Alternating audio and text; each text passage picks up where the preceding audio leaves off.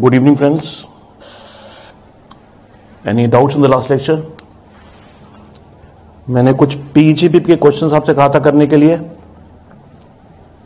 Page 287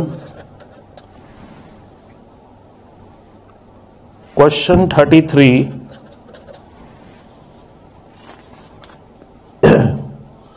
का part five that's on page 288 so question 33 का part five है the company has received equity shares of A B limited valued at 1.25 lakh in exchange of equity shares of CD Limited in a scheme of amalgamation during the year. The shares of CD were acquired in 2006-7 at a cost of 0.40 lakhs. The surplus has been credited to profit and loss account. Both AB and CD are Indian companies. ये basically हम करेंगे capital gains में cap gains में एक section 47 होता है जहाँ आपको अमलगमेटिंग कंपनी के शेयर्स की जगह अगर अमलगमेटेड कंपनी के शेयर्स मिलते हैं तो एक्सचेंज माना जाता है ट्रांसफ़र माना जाता है बट ये कैपिटल गेन्स एग्जेम्प्ट होता है अंडर सेक्शन 47 सो यहाँ पर आपके शेयर्स थे फोर्टी थाउज़ेंड रुपीज़ के। एक्सचेंज में आपको मिले शेयर्स एक लाख पच्चीस हज़ार के। तो जो eighty five thousand cap gains है, वो एग्जेम्प्ट है। या पढ़ेंगे सेक्शन 47 में हमने क्वेश्चन में देखिए क्या किया होगा? 85,000 पेज 289 पे देखिए। लेस कर दिया। लेस कर दिया। और नोट वन में लिखा हुआ है जो मैंने आपको बताया कि अमलगमेटिंग कंपनी के शेयर्स की जगह अगर आपको अमलगमेटेड कंपनी के शेयर्स मिलते हैं तो जो गेन होता है कैपिटल गेन जो होता है सेक्शन 47 में एग्ज़ाम होता है। Page 306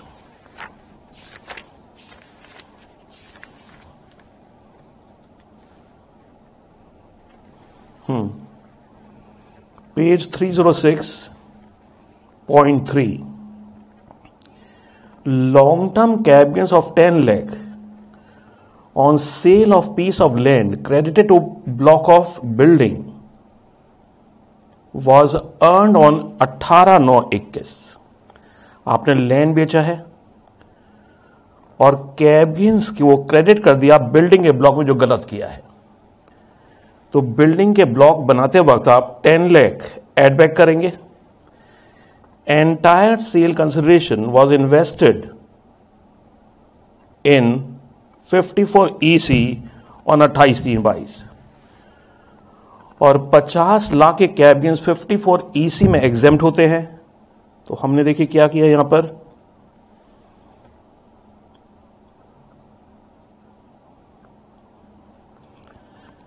जो 10 लाख के कैबिन्स आपने बिल्डिंग के ब्लॉक में लेस कर दिए थे, वो गलत लेस किए हैं। तो इससे आपकी एक लाख डेप्रिसिएशन कम हो गई थी, जो ज़्यादा होना चाहिए, इसलिए हमने डेप्रिसिएशन वन लैख बढ़ा दी।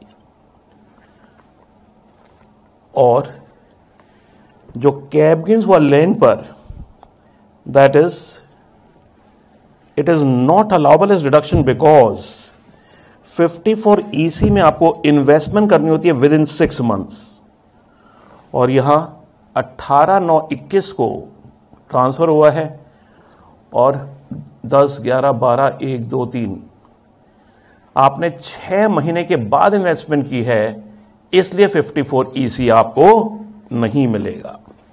ये सारे पॉइंट्स कैप गेंस के हैं। सो लास्ट टाइम हम फॉर्म्स हमने स्टार्ट किया था।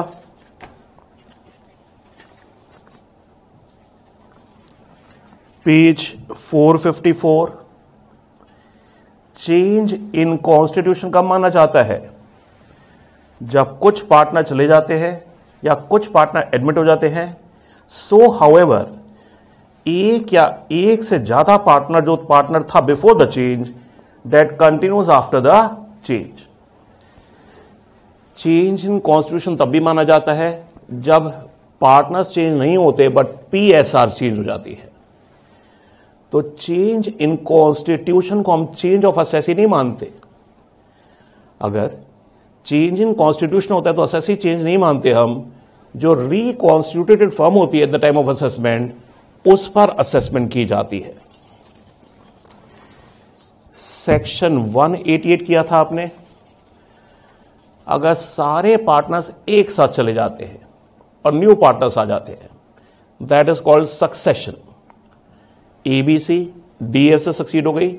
तो ये चेंज इन असेसी माना जाएगा एबीसी की अलग असेसमेंट होगी till the time of succession और सक्सेशन बाद की इनकम डी ई एफ़ के हाथ में टैक्स होगी। 188 ए किया था आपने। जहाँ आप एक दिन के लिए भी पार्टनर हैं तो आप उस पूरे साल के लिए लाइबल है for the taxes penalty interest of the firm section 189 किया था आपने, जहाँ फर्म डिजॉल्व हो जाती है।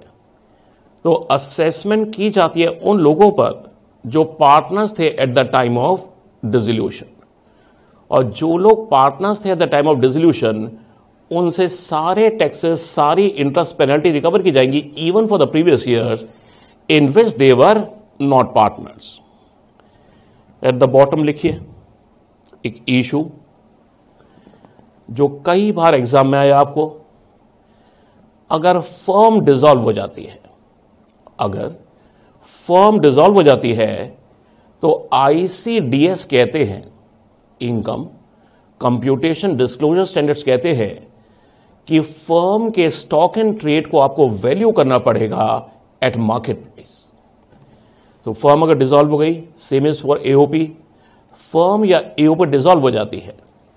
तो स्टॉक इन ट्रेड को आप वैल्यू करेंगे at the market price on the date of dissolution और जो डिफरेंस है between market price and the book value of the stock will be assessable as PGBP in the hands of the firm ये position रहेगी, अगर firm dissolve होकर business बंद हो जाता है, तब भी ऐसा होगा।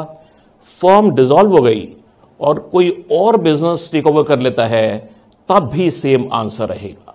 नोट कीजिएगा। पेज 456 एट द बॉटम लिखिए।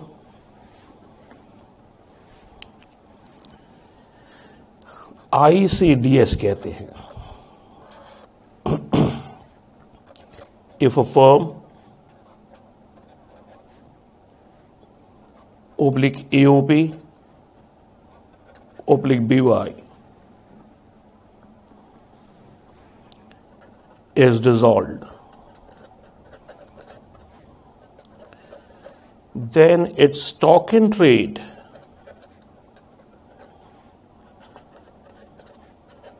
must be valued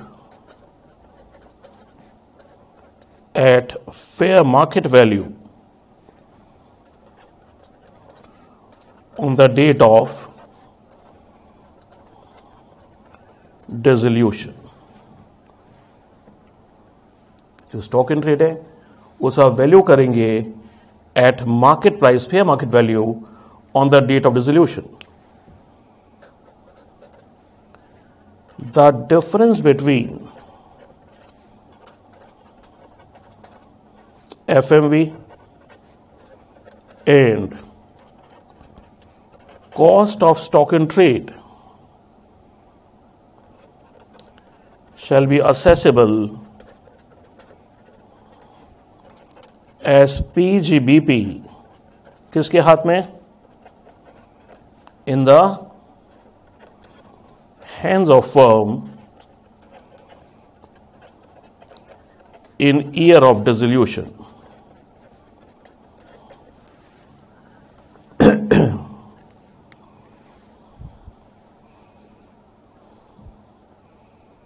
इसी बात लिखिए। Next para.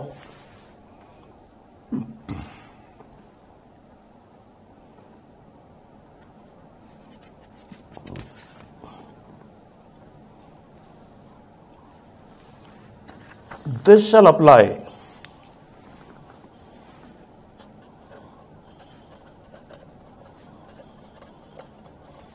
Whether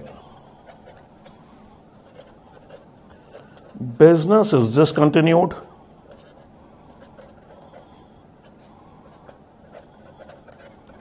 Or is carried on by someone after dissolution.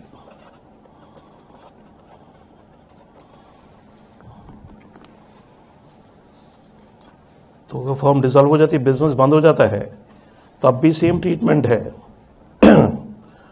और अगर फॉर्म डिसॉल्व हो गई बिज़नेस कोई और कैरी ऑन करता है then also the answer is the same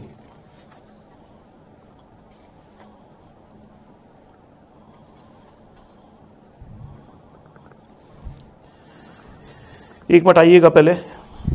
page 463 पर।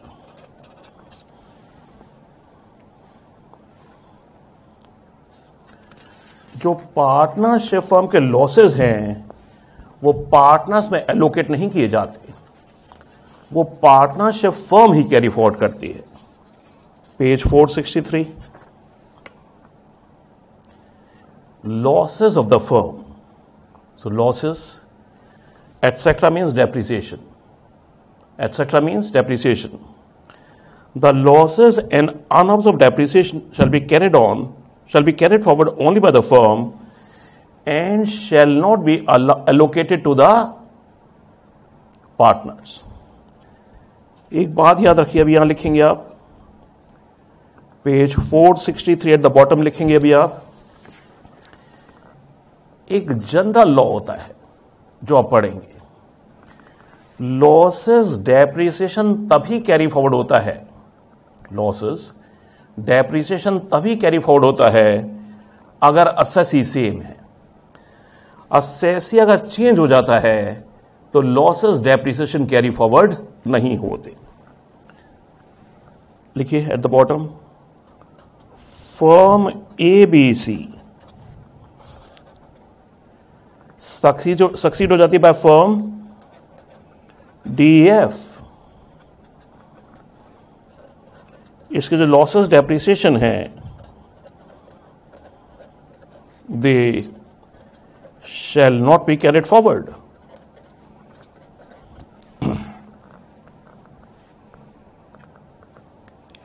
Form A B से तो डिजॉल्व हो गई। जब एसएससी खत्म हो गया so shall not be carried forward by any one form A B से तो कैरी फॉर्ड कर ही नहीं सकती बिकॉज़ फॉर्म डिजॉल्व हो गई है। और डी एफ़ इसलिए कैरी फॉर्ड नहीं कर पाएगी एसएससी चेंज हो गया है। firm XYZ dissolved, इसके जो लॉसेस डेप्रिसिएशन है shall not be carried forward by any one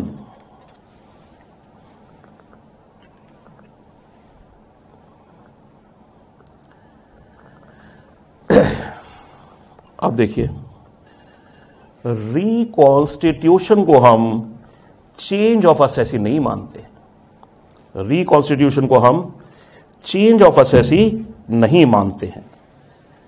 तो अब ये फॉर्म टैक्स प्लानिंग कर सकती है। ये फॉर्म टैक्स प्लानिंग कर सकते क्या?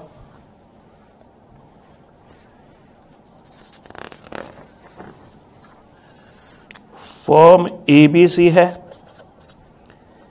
तीन पार्टनर्स हैं। One third one third profit sharing ratio है, तीन करोड़ के लॉसेस है। अगर ये firm D A F succeed कर जाती है तो एस चेंज हो गया लॉस कैरी फॉर्ड नहीं होगा। तो अभी क्या चलाकी करते हैं?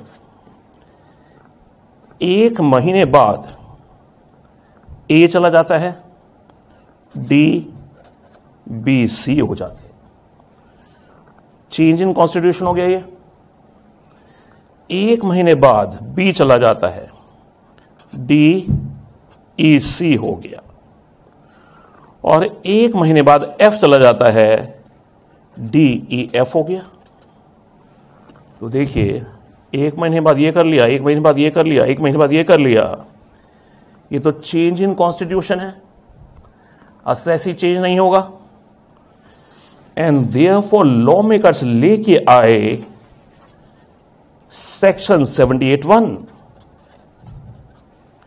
जो कहता है कि अगर पार्टनर ए चला गया तो उसका जो ब्रॉडफोर्ड लॉस में शेयर है, उसका जो ब्रॉडफोर्ड लॉस में शेयर है माइनस करंट या प्रॉफिट शेयर वो ना तो ए कैरी फॉर्ड करेगा और ना ही फर्म कैरी फॉर्ड करेगा। अभी मान लेते हैं करेंट प्रॉफिट नील है।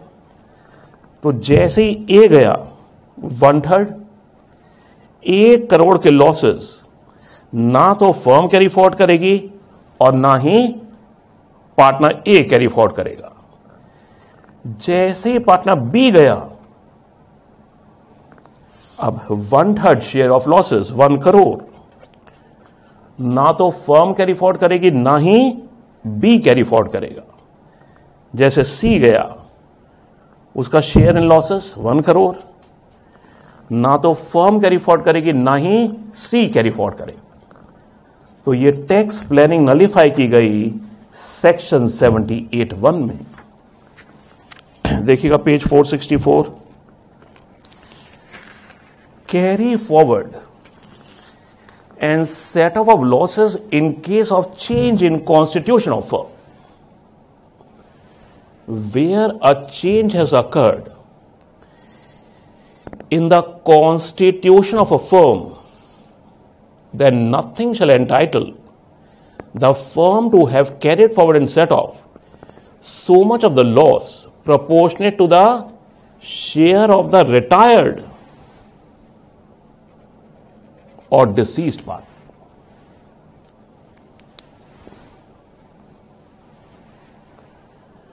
Where a change has occurred in the constitution of the firm, then nothing shall entitle the firm to have carried forward and sort of how much, what?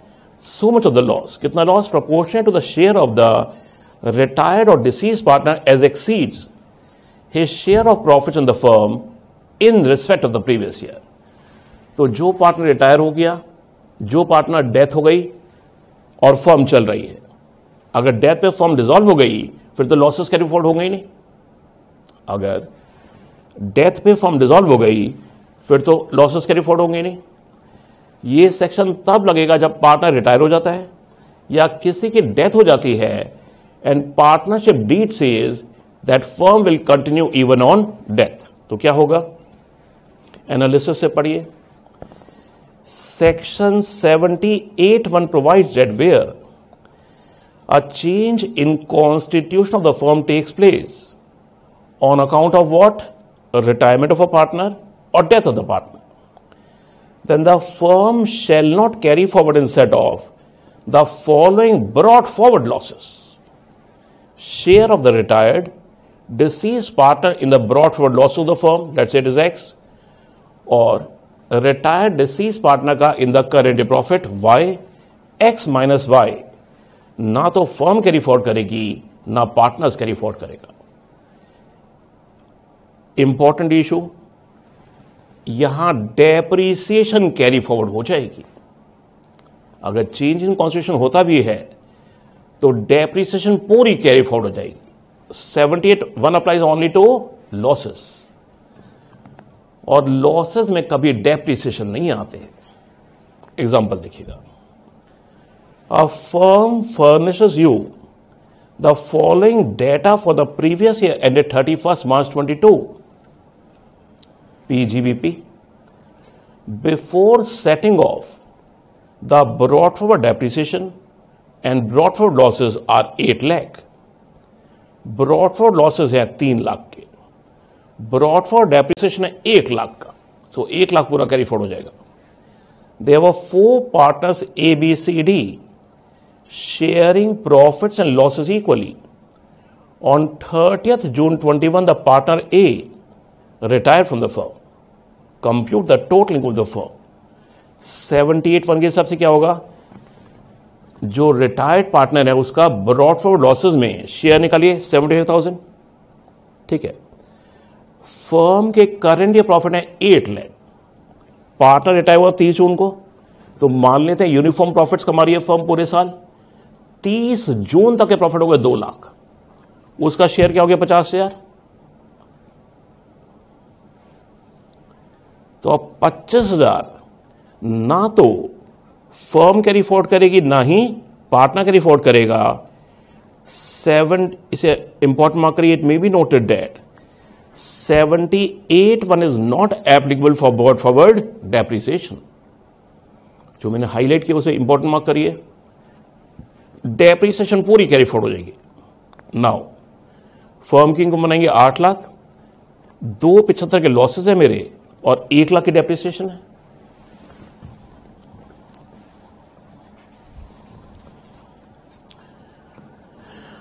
Okay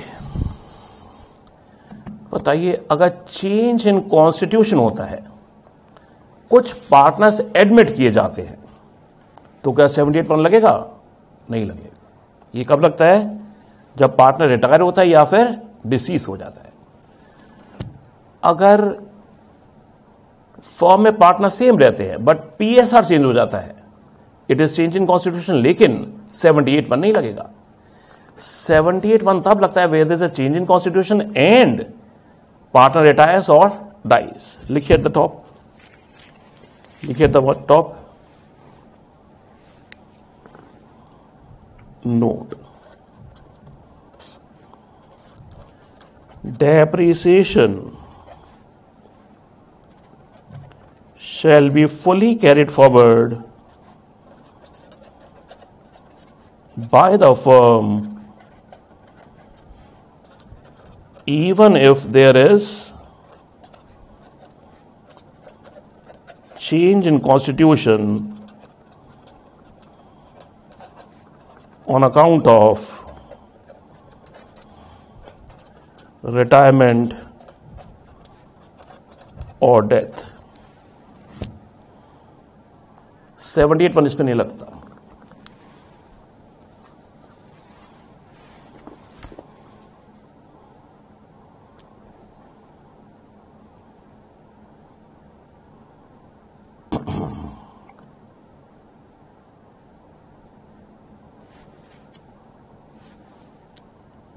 एक और note लिखिए।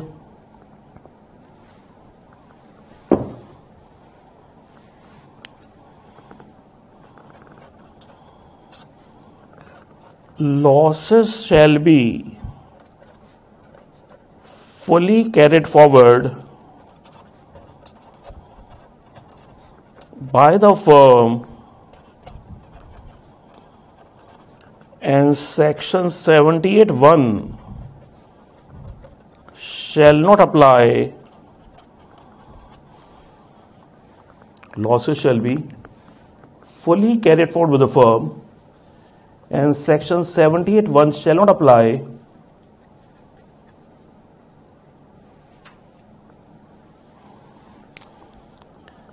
If change in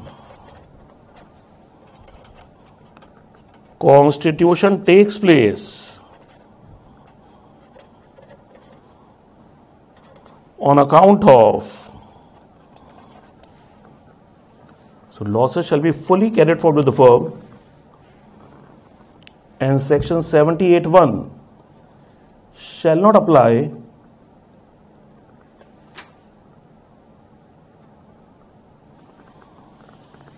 if change in constitution takes place on account of one admission of partners because seventy eight तो कहता है सिर्फ़ retirement और death पे लगता है। या फिर change in profit sharing ratio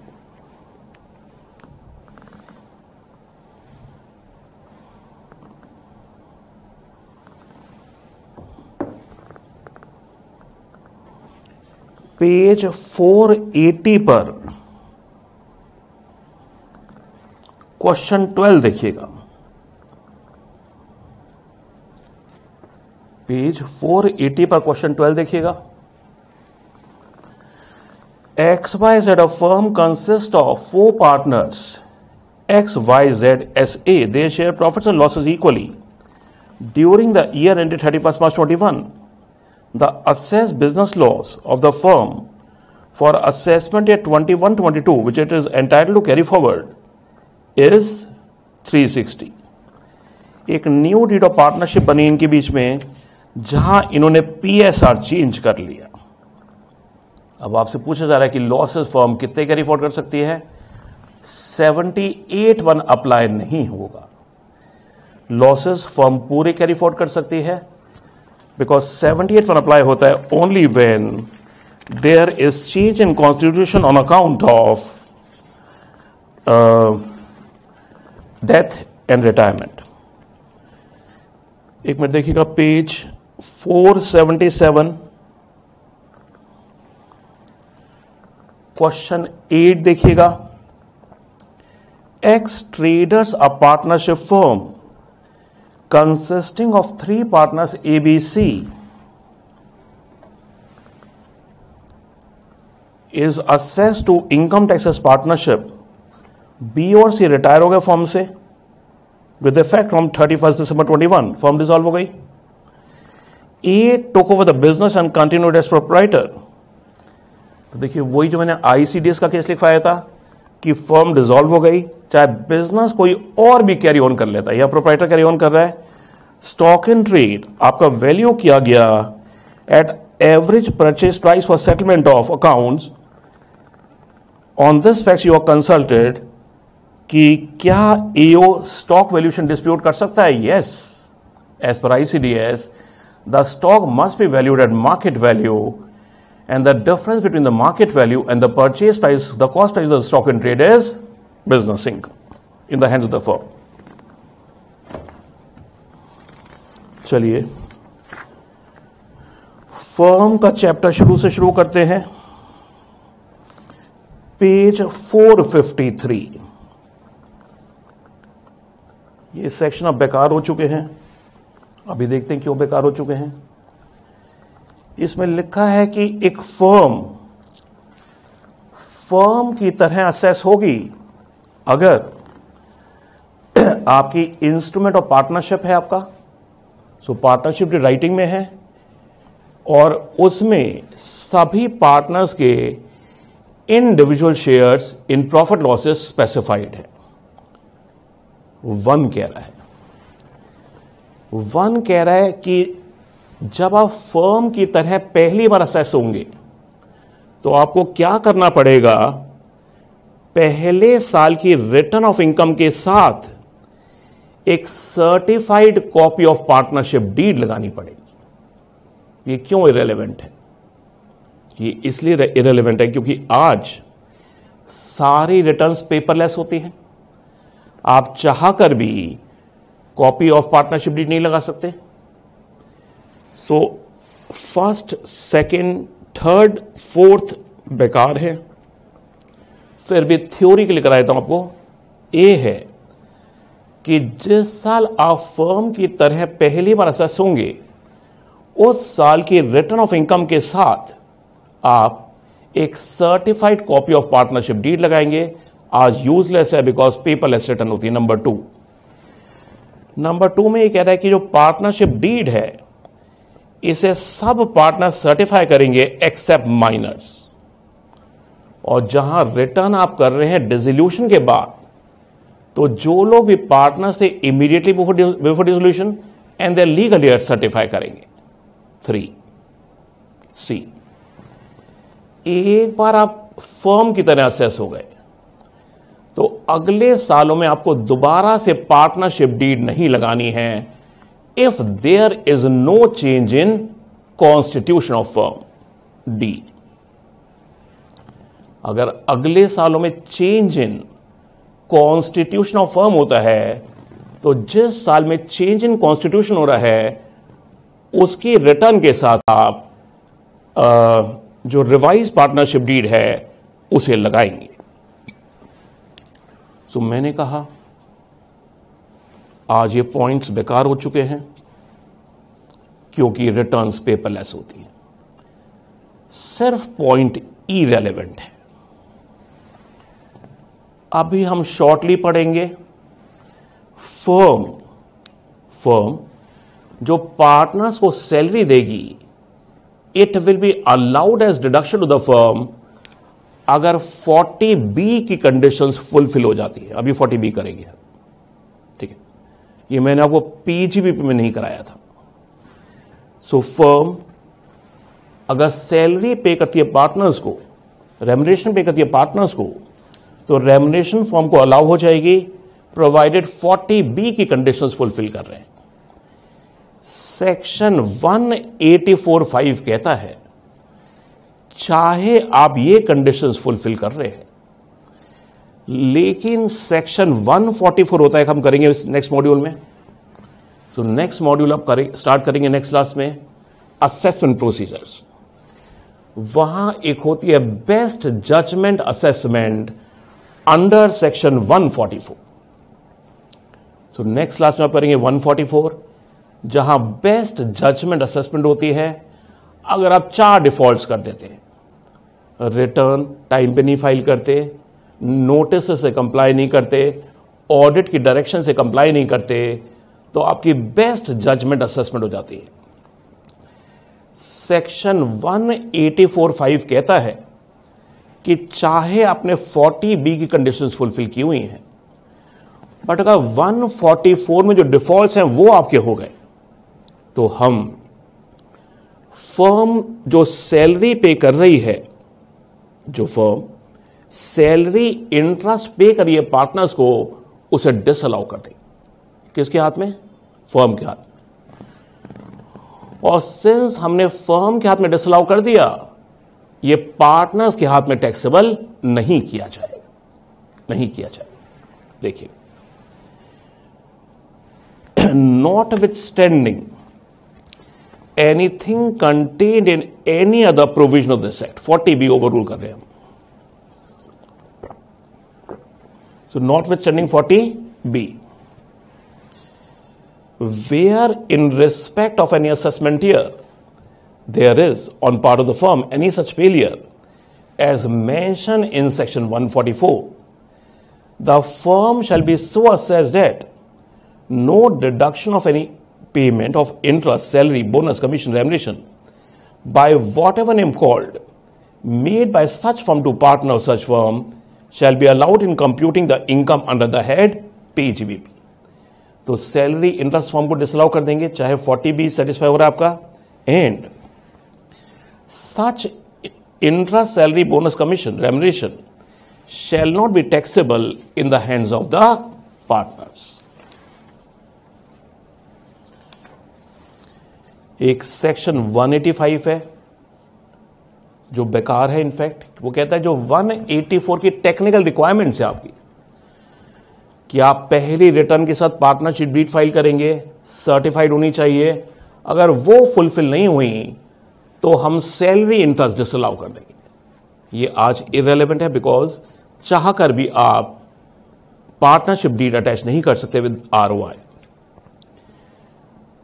assessment when 184 not complied with notwithstanding anything contained in any other provision of this act where a firm does not comply with provisions of 184 deed nahi lagai for any assessment year the firm shall be so assessed that no deduction तो इसमें लिखा है कि firm को salary interest जो pay किया उसने partners को डिसअलाउ कर दिया जाएगा और जो सैलरी इंटरेस्ट डिसअलाउ हुआ है पार्टनर्स के हाथ में टैक्सेबल नहीं होगा।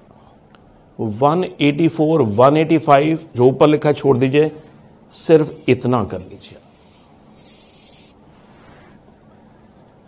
कि can salary and interest pay to partners be disallowed even if condition of forty B are satisfied yes in the following two cases अगर फोर्टी बी की कंडीशन सेटिस्फाइड भी है तो salary interest to the partners disallow हो जाएगी, जहाँ 184.5 लगता है, जहाँ 144 का कोई भी फेलियर हो जाएगा तो सैलरी इंटरेस्ट डिसला हो जाएगी, या फिर फर्म ने जो 184 की टेक्निकल रिक्वायरमेंट्स हैं, उनको फुलफिल नहीं किया that salary interest will be disallowed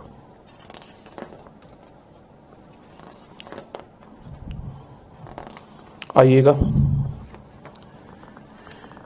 Page 457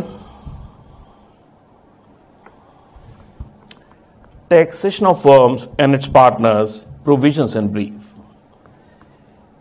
income of partnership firm is assess at the flat rate of thirty percent बारह परसेंट सरचार्ज जहाँ total income exceeds one crore plus four percent cess in all cases long term cap gains taxable करेंगे 112 112 A में, और short term cap gains on shares taxable करेंगे 11 triple one A में।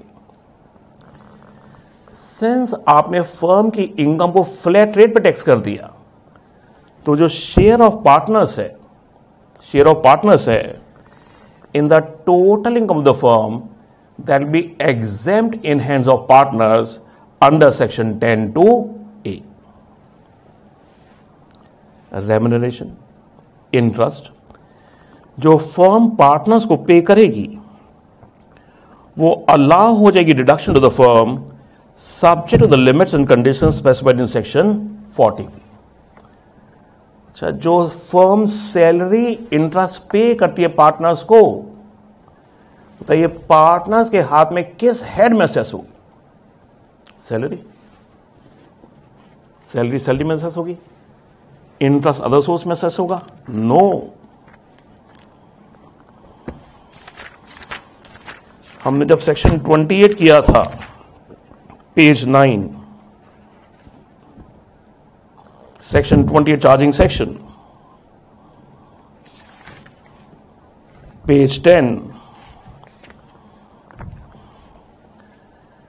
clause 9 देखिएगा जो act में section 28.5 है, clause 9 में लिखा है जो interest, salary, remuneration commission, firm partners को पे करेगी।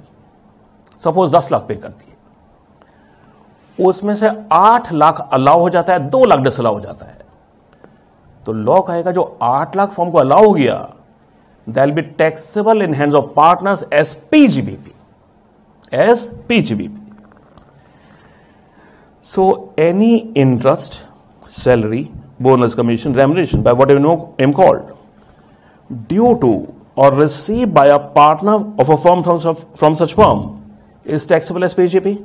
However, where any interest, salary, bonus, commission, remuneration by whatever name called, or any part thereof has not been allowed to be deducted under section 40B आठ lakh allow हुआ, दो lakh disallow गया दस लाख में से the income under this clause shall be adjusted to the extent of amount not so allowed to be deducted so आठ lakh taxable होगा as P GBP वापिस आइए।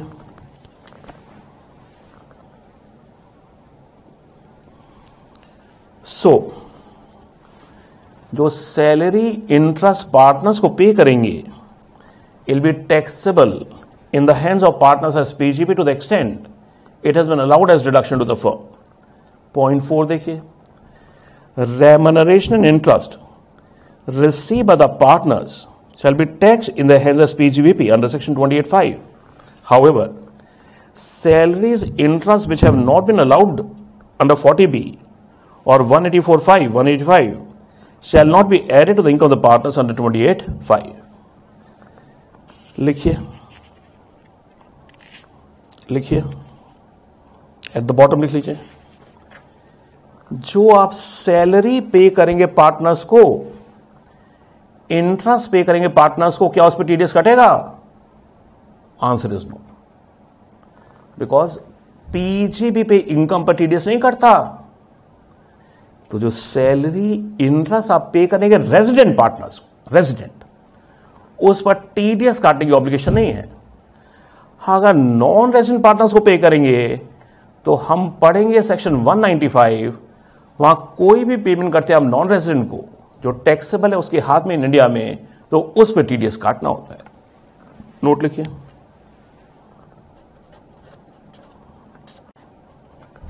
No TDS shall be deducted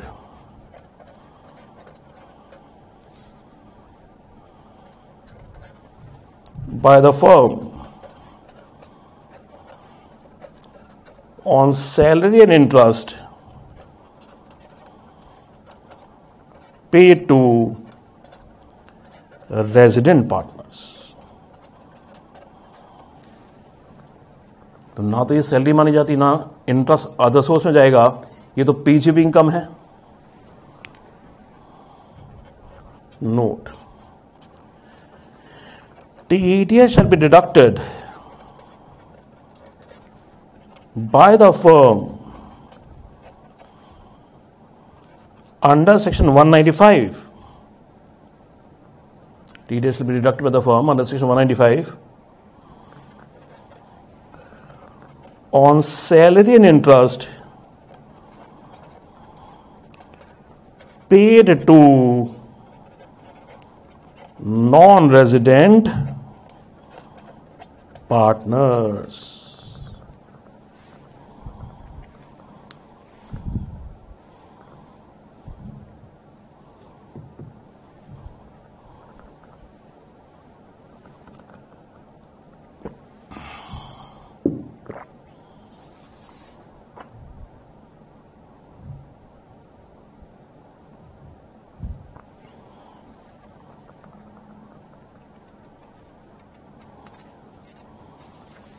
देखिएगा section forty payment of interest salary bonus commission remuneration made by the firm to the partners interest and remuneration pay to the partners with the firm are not deductible so forty B पहले कहते हैं deductible नहीं है. However the interest remuneration pay to partners with the firm are deductible if all the following condition are satisfied so remuneration में star लगे remuneration so remuneration means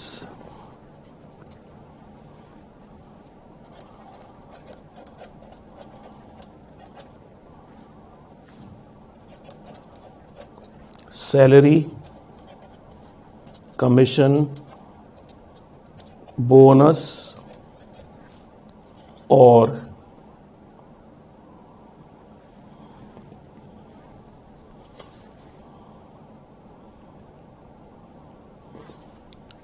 remuneration by any name.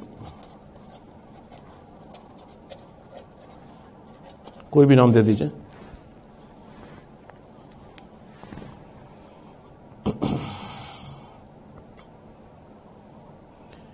So remuneration interest जो firm pay करेगी partners को allow होगी interest allow होगा। अगर following conditions are satisfied one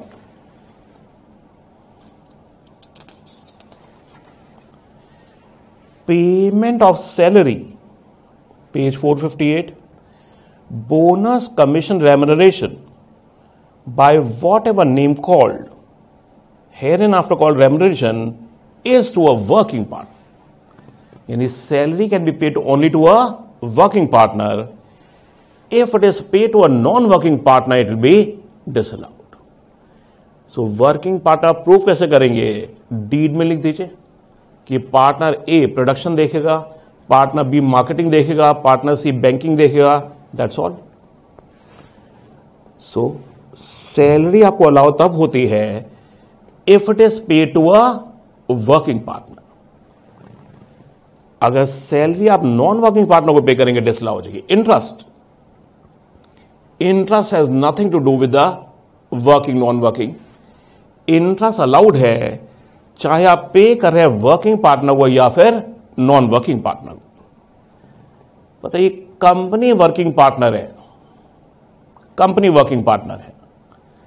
firm उसको salary दे रही है। अलाउ हो जाएगी या नहीं? नहीं होगी। आगे पढ़िए। Working partner means what individual working partner means individual who is actively engaged in conducting the affairs of the business or profession of the firm of which he is a part. So working partner has to be an individual. Examiner आपको confuse करेगा कि company partner है working partner है firm उसको salary दे रही है disallowed disallowed number two number two से एक मिनट पहले देखिए नेक्स्ट पेज पर देखिएगा condition 5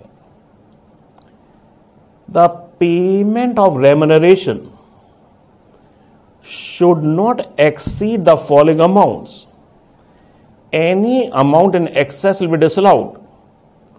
On first 3 lakh of book profits or in case of loss 1 lakh 50000 or 90% book profits whichever is higher balance book profits were 60% ये overall रेमरेशनबल limit है। वापस आइए। तो सैलरी इंटरेस्ट आपको अलाउ होगी। अगर फॉलोइंग कंडीशन सेटिस्फाइड है, पहली कंडीशन थी कि salary should be to a working partner who is an individual salary to non working partner is this allowed interest could be to working partner as well as non working partner number two the payment of remuneration page 458 to a working partner. And payment of interest to any partner should be authorized by the deed. Authorized मतलब partnership deed में clause डाल दीजिए कि firm is hereby authorise to pay salary and interest to the partners काफ़ी है। And is in accordance with the terms of the partnership deed so salary interest तब allow होगी। एक तो आपको ऑथराइजेशन देना है फॉर्म को पे करने का। Number two it should mean accordance with the partnership इस पर बहुत झगड़ा हुआ। इस पर बहुत झगड़ा हुआ। अगर पार्टनर्स ये लिख देते हैं डीड में कि salary interest will be as decided by the partners at the end of the year क्या इन अकॉर्डेंस माना जाएगा? फाइनेंस मिनिस्ट्री कहती है नो फाइनेंस मिनिस्ट्री कहती है, अगर आप ऐसा क्लॉज डालते हैं कि salary interest will be as decided by the partners at the end of the year अगर ऐसा लिखा है तो ये कंडीशन सेटिस्फाई नहीं हो रही the salary interest is not in accordance with the deed. अगर आप ऐसे लिख देते हैं, अभी जो आपने 40 बी फाइव पढ़ा था ना, ये वाला, लिख देते हैं कि salary will be as under as of forty B five salary will be as of forty B five तो क्या अलाउ होगा? फाइनेंस मिनिस्ट्री से नो फोर्टी बी फाइव क्या कहता है? सपोज़ दस लाख के बुक प्रॉफिट है तो पहले तीन लाख के बुक प्रॉफिट पर नाइन्टी परसेंट अगले सात लाख के बुक प्रॉफिट पर सिक्सटी परसेंट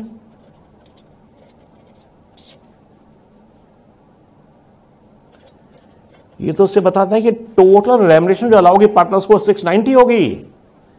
अब कितने पार्टनर को क्या मिलेगा? ए को क्या मिलेगा? बी को क्या मिलेगा? सी को क्या मिलेगा? तो लिखा ही नहीं। एंड देयरफॉर फाइनेंस मिनिस्ट्री ने सर्कुलर निकाला कि अगर आप लिखते हैं कि salary will be as decided by the partners salary interest will be as decided by the partners disallowed अगर आपने लिखा कि salary will be as forty B five disallowed finance ministry कहती है, हम इन अकॉर्डेंस विद डी तब मानेंगे, या तो सैलरी इंटरेस्ट क्वांटिफाई करिए। लिखिए salary will be twenty thousand per month to a forty thousand per month to be interest will be ten percent per annum ये लिखिए। या फिर सैलरी पे करने का तरीका क्वांटिफाई कर दीजिए तरीका कैसे हो सकता है, देखिए। स्टेप वन मैं लिखता हूँ step one salary will be computed as to the following steps one compute book profits step two ninety percent निकालिए फ़र्स्ट थ्री लैख का. बैलेंस का सिक्सटी परसेंट निकालिए. स्टेप थ्री जो अलाउबल रेमनेशन आ गई सिक्स नाइनटी उसे बांट दीजिए between A B C in the ratio of forty forty twenty yes now it is in accordance with the deed तो फाइनेंस मिनिस्ट्री कहती है, हम इन अकॉर्डेंस तब मानेंगे।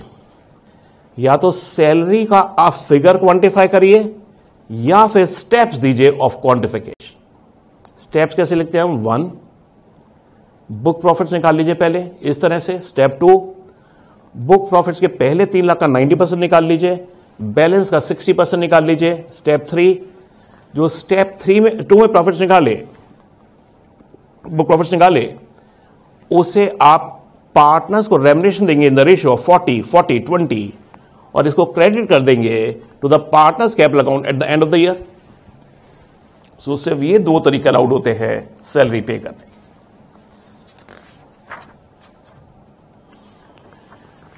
Page 458 the payment of remuneration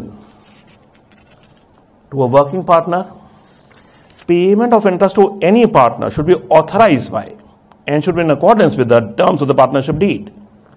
Board ka circular. It has been observed that assessees are incorporating the following kinds of clauses in the partnership deed. The partners have agreed that remuneration to the working partner will be the amount of remuneration allowable under provisions of 40b5. गलत है The amount of remuneration to the working partner shall be as mutually decided between the partners at the end of the year. Board कहता है कुछ नहीं हम मानेंगे The AOs are now disallowing the reduction on the basis of such clauses for the reason that they neither specify the amount of remuneration to each partner nor lays down the manner of quantification of the remuneration. तो last para board कहता है कि अगर आपने salary का amount quantify नहीं किया, या फिर सैलरी निकालने के स्टेप्स नहीं दिए तो हम डिसलाउ कर दें। In cases where neither the amount of remuneration has been quantified nor even the limit of total remuneration has been specified but the same has been left to be determine the partners at the end of the year the remuneration to the partners will not be allowed is deduction in computation of the firm's income. The remuneration shall be allowable only if the partnership did either specifies the amount of remuneration payable to each individual working partner or lays down the manner of quantifying the remuneration जैसे मैंने आपको step one step two step three बनाया three आप suppose deed enter करते हैं one four twenty one को। उसमें कोई सैलरी इंटरेस्ट प्रोवाइड नहीं करते। वन सेवन ट्वेंटी वन को डीड अमेंड करते हैं with effect from one four twenty one, जहाँ आप सैलरी इंटरेस्ट प्रोवाइड कर देते हैं। तो लॉ कहता है हम रेट्रोस्पेक्टिव अलाउ नहीं करेंगे। यानी वन फोर ट्वेंटी वन से लेकर थर्टी जून ट्वेंटी वन तक का सैलरी इंटरेस्ट अलाउ नहीं किया जाएगा। आपको जो भी करना है प्रोस्पेक्टिव करिए। इसी तरह suppose one four twenty one को मैंने सैलरी कही थी बीस हज़ार पर मंथ टू पार्टनर्स इंटरेस्ट का था एट परसेंट पर एनम और एक साथ इक्कीस को मैंने सैलरी कर दी with effect from one four twenty one sixty thousand. Interest कर दिया बारह परसेंट। लॉ कहेगा नो रेट्रोस्पेक्टिव हम चेंज नहीं करेंगे। अप्रैल मई, जून में बीस के हिसाब से अलाउगी इंटरेस्ट आठ परसेंट के हिसाब से होगा। और उसके बाद आपका इस तरह होगा। क्लॉज देखिएगा।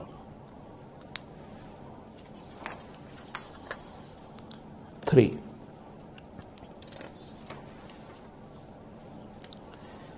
the payment of remuneration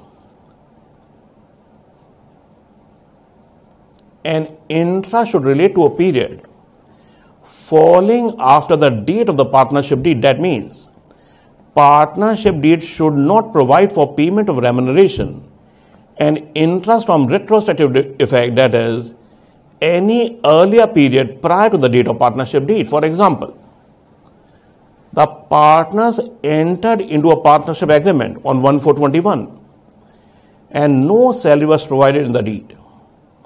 On 31 22 the partners entered into an agreement to amend the above deed retrospectively from 1 421 to provide salary of 3000 per month to each partner. तो क्या होगा 1 421 से 31 मार्च 22 सैलरी अलाउ नहीं होगी 1 टू 22 से लेकर 31 मार्च 22 salary three thousand per month to partner allow जाएगी firm को अलाउ जाएगी नेक्स्ट देखिए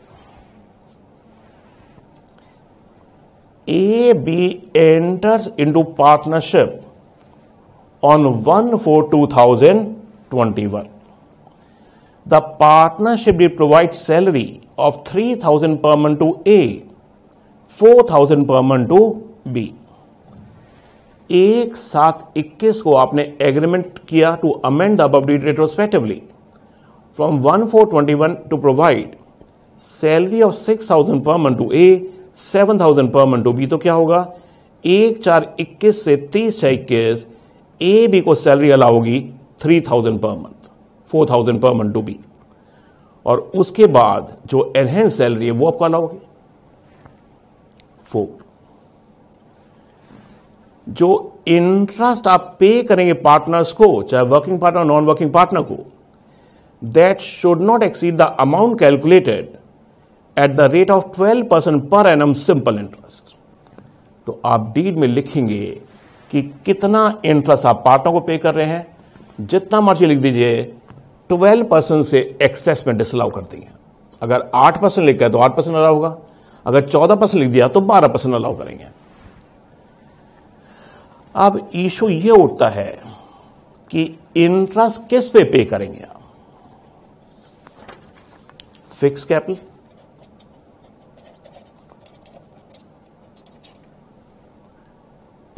current capital account loan account what courts ने कहा, जो डीड कहेगी, जो डीड कहेगी। अगर डीड में आप कहते हैं फिक्स कैपिटल तो फिक्स कैपिटल वाला इंटरेस्ट अलाउ होगा। आप कहते हैं दोनों कहेंगे तो दोनों अलाउ हो जाएँगे। लोन भी लिखेंगे तो ये भी अलाउ हो जाएगा।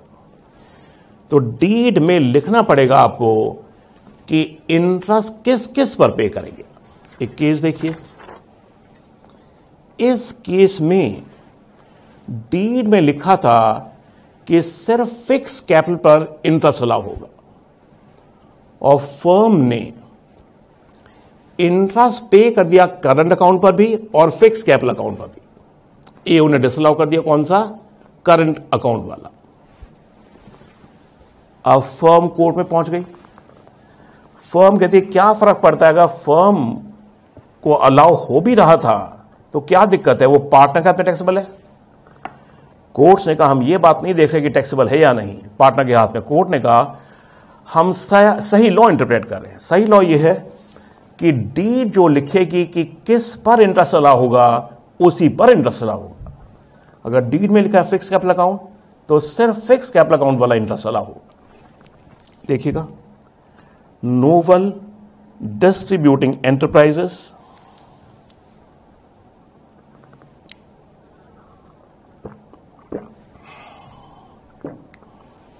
where interest paid to partners on current account was not authorized on the partnership deed. In view of section 40b4, the impulse interest, impulse मतलब जो litigation में है, was rightly disallowed. Notwithstanding the fact that a assessee firm had recorded the said transaction in the books of account and partners had included the interest in the return of income and paid tax thereon. उससे फर्क नहीं पड़ता. The petitioner firm claimed deduction of interest paid to the partners both in respect of capital account and also current account. The AO disallowed the claim in respect of interest on current account on the ground that the partnership deed did not authorize it. The petitioner took up the matter before the commission under 264, the same was rejected, held at clause 10 of partnership deed, which dealt with payment of interest, stated that net profit or loss after making 12% interest on capital contribution of the partners, any fixed capital, for each year shall be shared. Since the petitioner had no case that interest related to capital contribution, the said amount could not be allowed as deduction in view of subclause 4 of 40b, the fact that a firm has paid interest on current account and recorded in the books of account, and further, partners have included the said account amount in the returns of income and paid tax thereon, will not change the situation. The authorities could act only in accordance with 40b. In the incest case, the CIT had rejected the claim of deduction of interest paid on the current account only because there was no provision in partnership deed enabling such payment, therefore disallowance is justified. So, interest आपको quantify करना पड़ेगा। अगर 12 percent से ऊपर है डिसलाउ हो जाएगा। आपको डीड में लिखना पड़ेगा इंटरेस्ट किस पे पे कर रहे हैं। Current account capital account fix capital account loan account अगर तीनों पे लिखा है तो तीनों पे अलाउ हो जाएगा। आपने सिर्फ़ लिखा करंट अकाउंट तो करंट पे अलाउ होगा। हम ईओपी में क्या करते थे? ईओपी में क्या करते थे आप?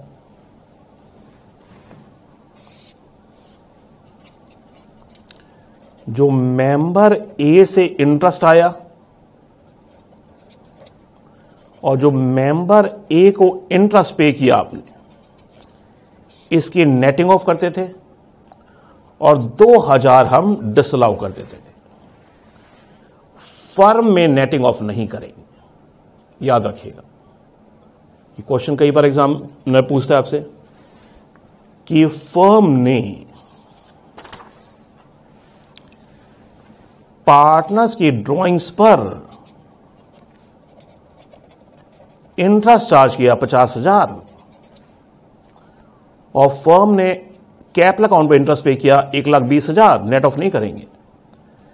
तो जो ड्राइंग्स पर इंटरेस्ट मिल रहा है फर्म को that is PGBP income of the firm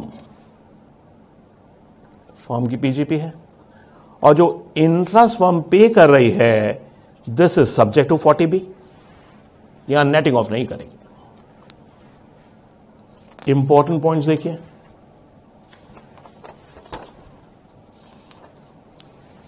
page 460 पर आइए।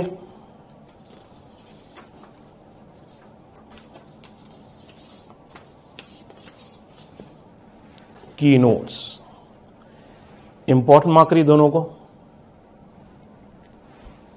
दोनों की note page four six important mark करिए if a firm pays interest a partner and the partner pays interest to the firm on his drawings then interest shall not be netted off the interest receive the firm from the partner on their drawings is taxable in the of the firm as P G B pink और जो interest firm partners को pay कर रही है that is allowable as per section forty B limits वगैरह? Number two interest paid by the firm to the partners on their fix capital account current capital account loan account is allowable as deduction to the firm provided the partnership deed specifically authorizes the payment of interest on fixed capital account, current capital account, and loan account. If the partnership deed authorizes payment of interest on fixed capital account only, then interest on current capital account and loan account will be disallowed and 40B में deduction नहीं मिलेगी मैंने 460 पर summarise किया है conditions for allowability of remuneration and interest paid to the firm to the partners. Remuneration होगी अगर working partner को पे कर रहे हैं to any partner working partner individual हो सकता है interest could be to any partner authorisation दोनों जगह होनी चाहिए। और पार्टनरशिप डीड में क्या लिखिए? या तो अमाउंट ऑफ़ रेमनेशन लिखिए, या फिर मैनर ऑफ़ क्वांटिफिकेशन लिखिए। रेट ऑफ़ इंटरेस्ट लिखिए। Remuneration interest can not be retrospect.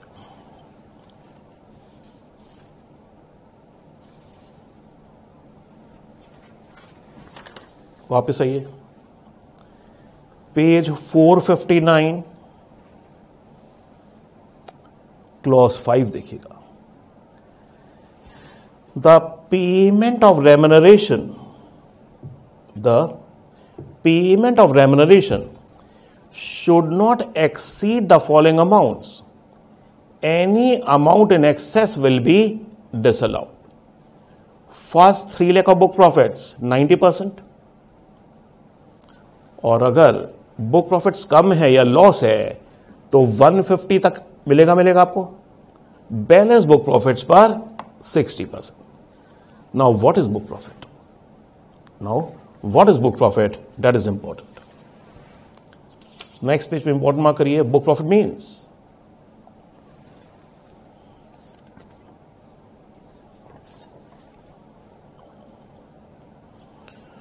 book profit means the net profit as shown in the profit and loss account for the relevant previous year computed in the manner laid down in sections 28 to 44d as increased by the aggregate of remuneration paid or payable to all the parts of the firm if such remuneration has been deducted while computing the net profit.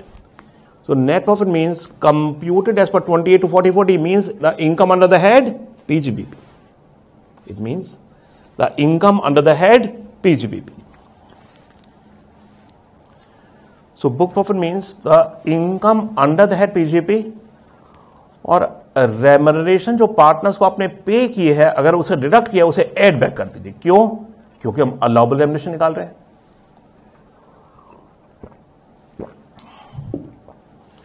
So book profit means the net profit as shown in the profit loss account for the relevant previous year computed in the manner laid down under sections 28 to 44D as increased by the aggregate of remuneration paid payable to all the partners अगर ये remuneration आपने deduct की है while computing the net profit बताइए brought for depreciation current depreciation कम करेंगे या नहीं करेंगे that section 32 it says 28 to 40 40 So depreciation current year depreciation brought forward दोनों लेस करेंगे। लॉसेस नहीं करेंगे।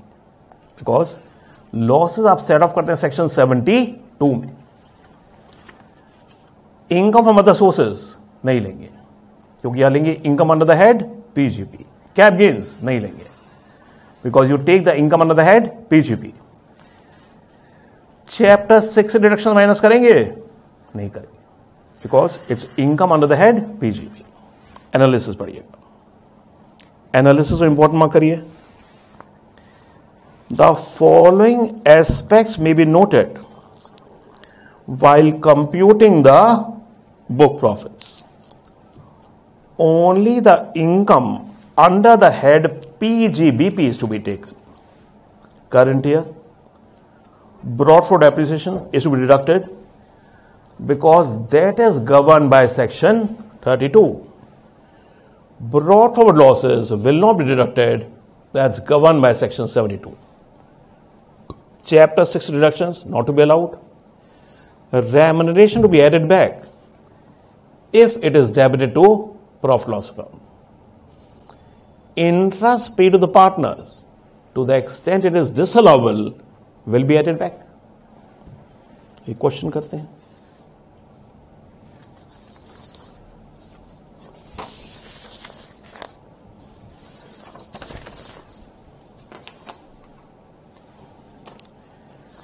पेज 465 पर आइए।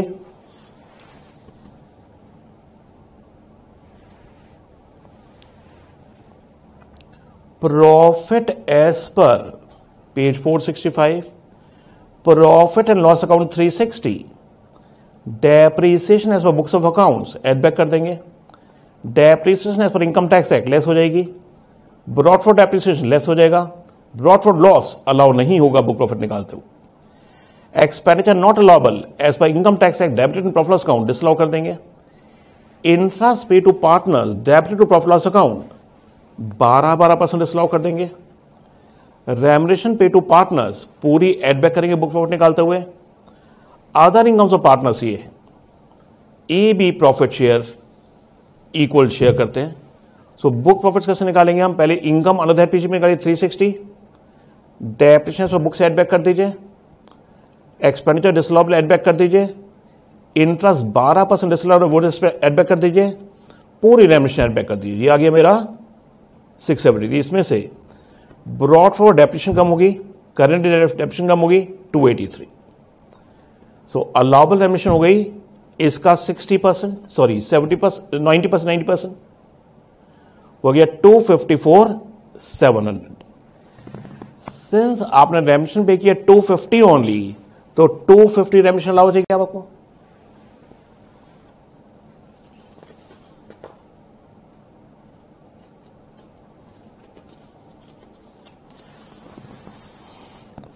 Income of the firm net profit 360 depreciation of books add back कर दीजिए. एक्सपेंडिचर डिसअलाउबल एडबैक कर दीजिए. Interest of partner disallowed on forty B add back कर दीजिए. करेंट डेप्रिसिएशन अच्छा यहाँ देखिए मैंने रेमरेशन को कुछ नहीं किया, क्योंकि रेमरेशन 250 की डेबिट है, पूरी अलाउड है मेरी। करंट डेप्रेशन लेस की मैंने ब्रॉड लॉसेस कम किए मैंने ब्रॉड फॉर डेप्रेशन कम किए मैंने, ये तो टोटल इनकम निकालते वक्त कर रहा और पार्टनर के हाथ में सैलरी 141 टेन एड होगी, जितनी फर्म को अलाउ हुई है। इंटरेस्ट कितना होगा? Five thousand and eight thousand other income से आ गई। पार्टनर्स की टैक्सेबल इनकम निकल गई।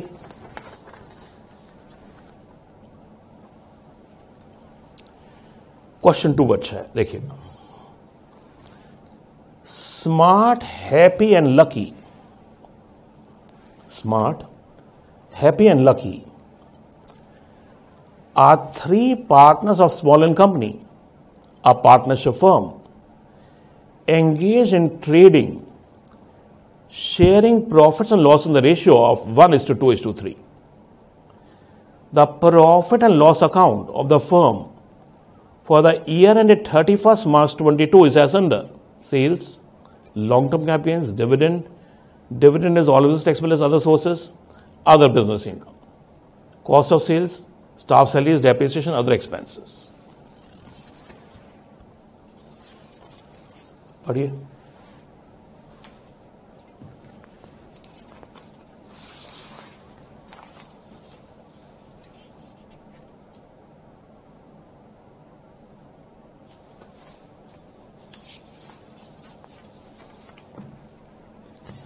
Remuneration to partners interest on capital to partners net profit The firm has been assessed as a firm up to assessment at 21 22. The firm has completed all formalities of firm की तरह assess होगी 22 23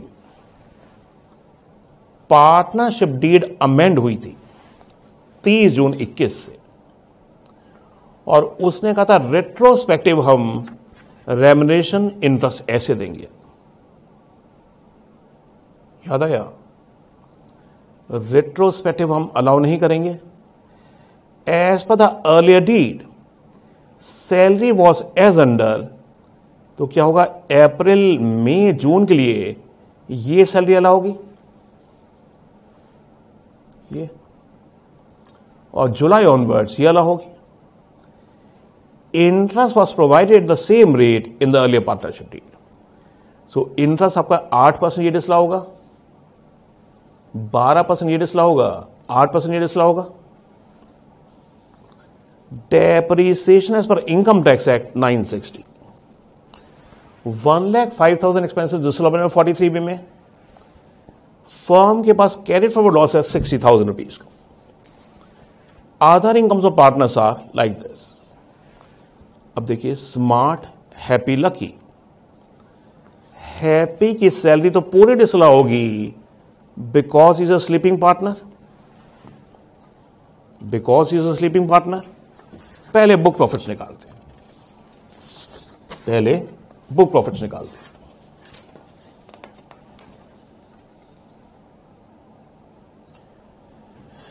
मेरा profit as per profit loss account है five lakh ninety four thousand as per books depreciation add back कर दीजिए। Expenditure जो 43 में डिसलाउड है, वो एड बैक कर दीजिए। इंटरेस्ट जो 12 परसेंट से ऊपर पे हुआ है, आठ बारह आठ, ये डिसलाउ कर दीजिए। रेमनेशन पार्टनर्स पहले पूरे डिसलाउ करेंगे बिकॉज़ हम बुक प्रॉफिट निकाल रहे डिविडेंड लेस करेंगे because dividend is always assessable as income from other sources long term capital हम लेस करेंगे, ये कैबिनेट हेड में जाएगा। और depreciation as per I T act हम कम कर देंगे। ब्रॉड फॉर लॉसेस कम नहीं करेंगे आप।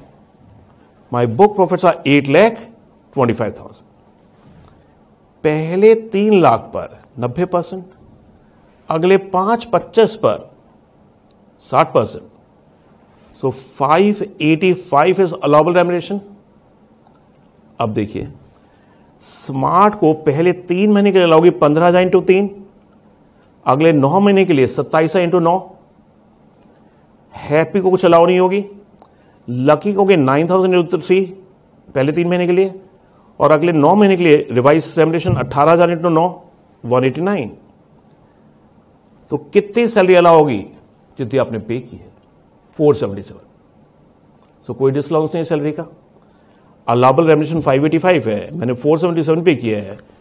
477 इज़ अलाबल अब फर्म की इनकम निकालते हैं 594 net profit depreciation as per books add back कर दी। 43 भी डिसलाउंस एड बैक कर दिया। इंटरेस्ट टू पार्टनर्स 8 परसेंट, बारह परसेंट, आठ परसेंट डिसलाउ कर दिया। रेमनेशन टू पार्टनर्स जो हमने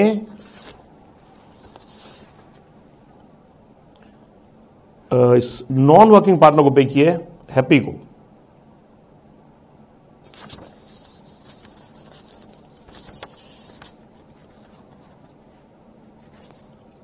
Division 2 partners, 225.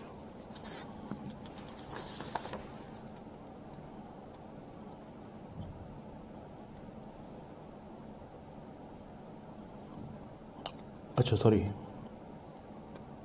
P is 162.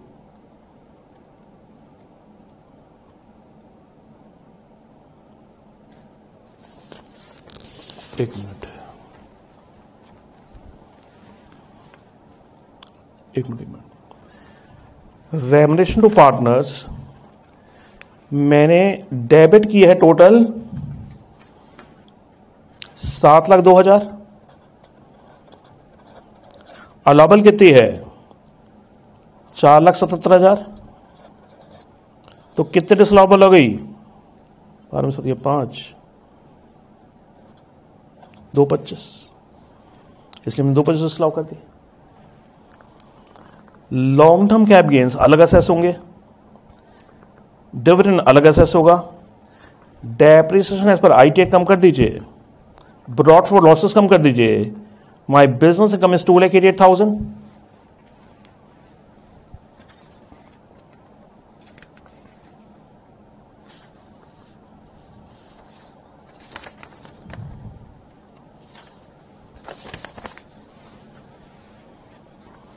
cap gains eleven forty dividend है वन फिफ्टी टोटलिंग में पंद्रह लाख अठहत्तर हज़ार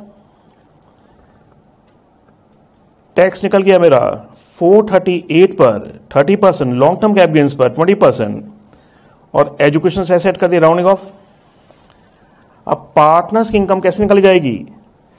जो सैलरी आपने पार्टनर्स को अलाउ की, वो इंट्रेंस जो पार्टनर्स को अलाउ हुआ, वो,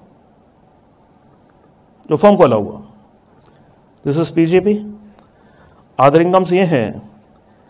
टैक्सेबल इनकम यहाँ आ गई। टैक्स निकाल लीजिए अकॉर्डिंगली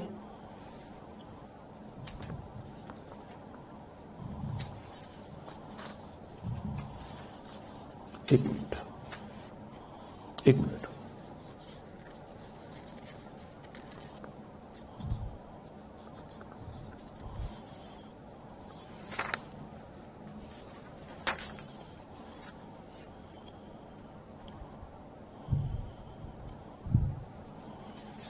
एक मिनट। पेज 468 पे आइए।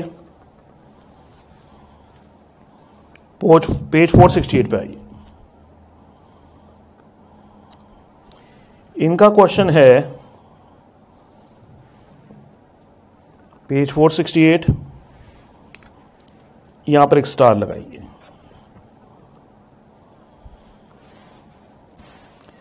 ये कह रहे हैं कि सपोज़ अलाउबल रेमनेशन चार लाख होते फिर क्या होता? अगर अलाउबल रेमनेशन चार लाख होती एज पर लिमिट्स तो क्या होता? स्टार लगाइए, नीचे लिखेगा।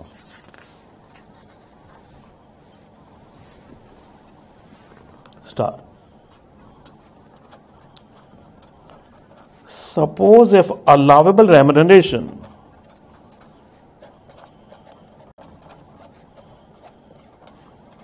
as per limits of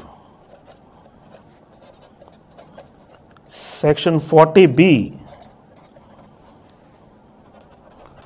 was rupees 4 lakh instead of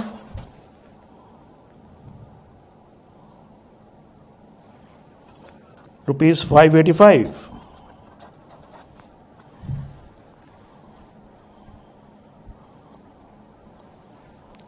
then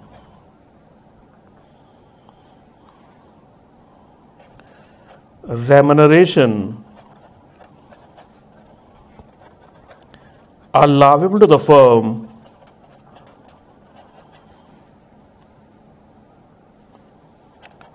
would have been rupees 4 lakh.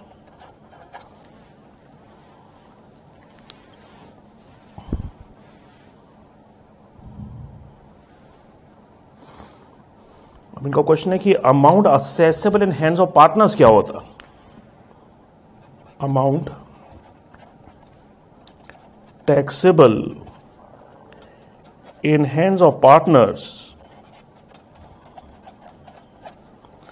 under section 28.5 क्या होता?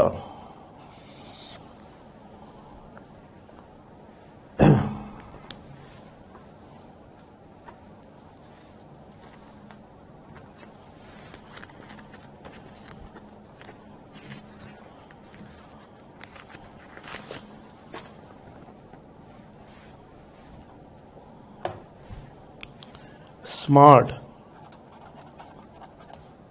हैप्पी लकी नील इधर होता फोर लैख इंटू बताइए two lakh eighty eight thousand divided by four lakh seventy seven thousand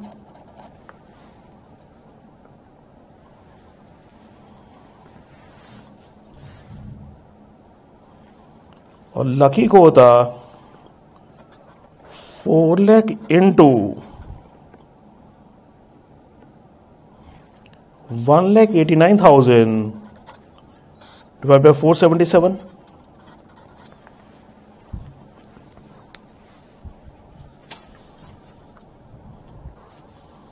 clear है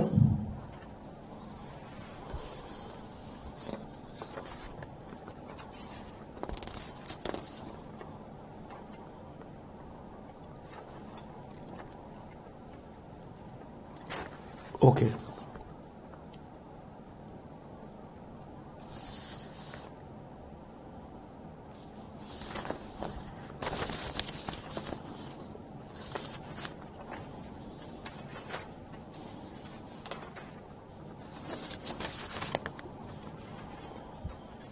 I hope ये clear है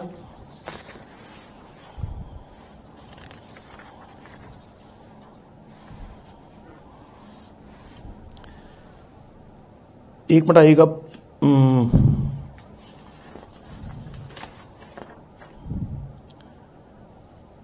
page 462 पर आइएगा। पेज 462 अगर मैंने 10 लाख सैलरी पे की, उसमें से 8 लाख अलाउड है 40 बी में तो पार्टनर्स के हाथ में 8 लाख इनकम ऐड होगी, ना कि 10 लाख। पेज 462 ये सेक्शन 285 कहता है।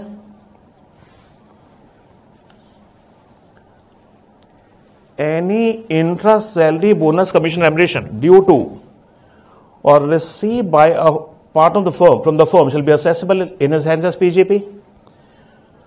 Provided that where any interest, salary, bonus, commission, remuneration has not been allowed to be deducted under 40B, the amount not so be allowed to be deducted will not be added to income of partners. यहाँ पर दो लाख की income add नहीं होगा अब एक issue आया firm के बुक प्रॉफिट्स है दस करोड़ मान लेते हैं, मान लेते हैं सिक्सटी परसेंट अलाउबल सैलरी है।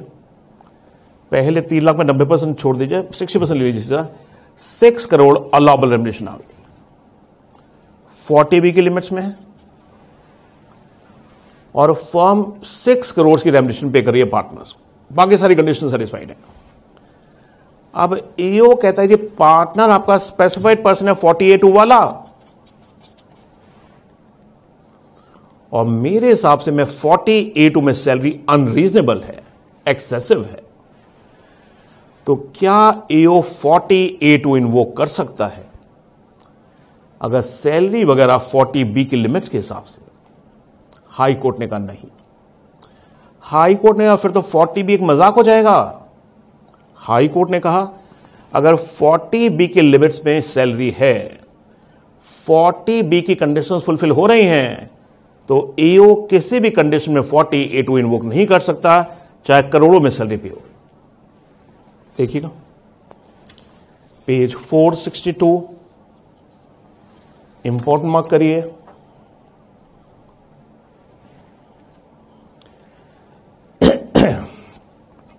Whether remuneration pay to the partner can be disallowed under section forty A two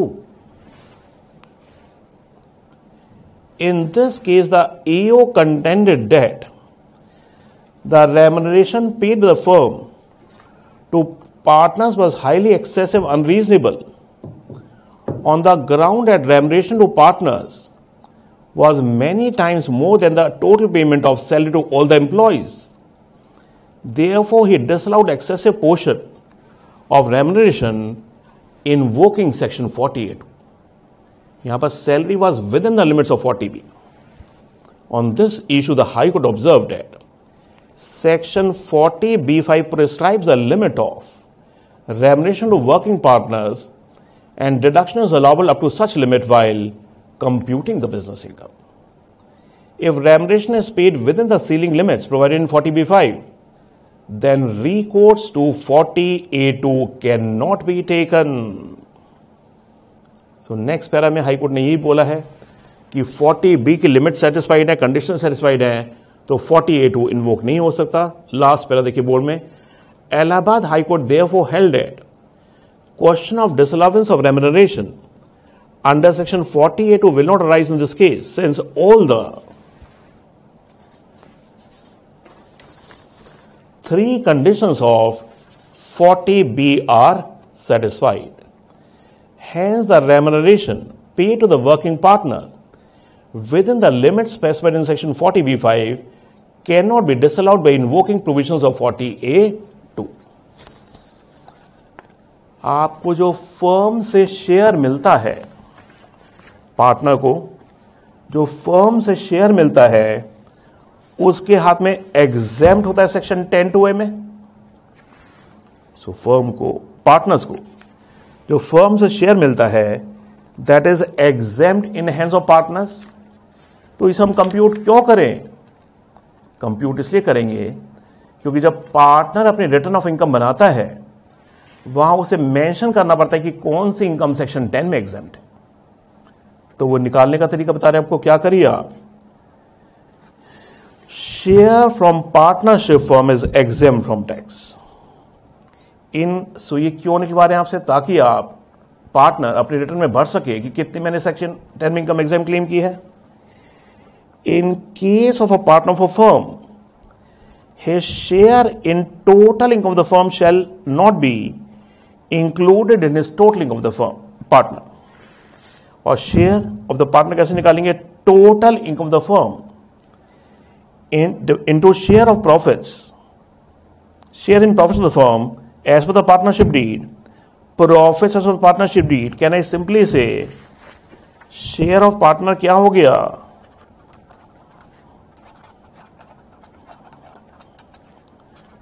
taxable income of firm into his profit sharing ratio.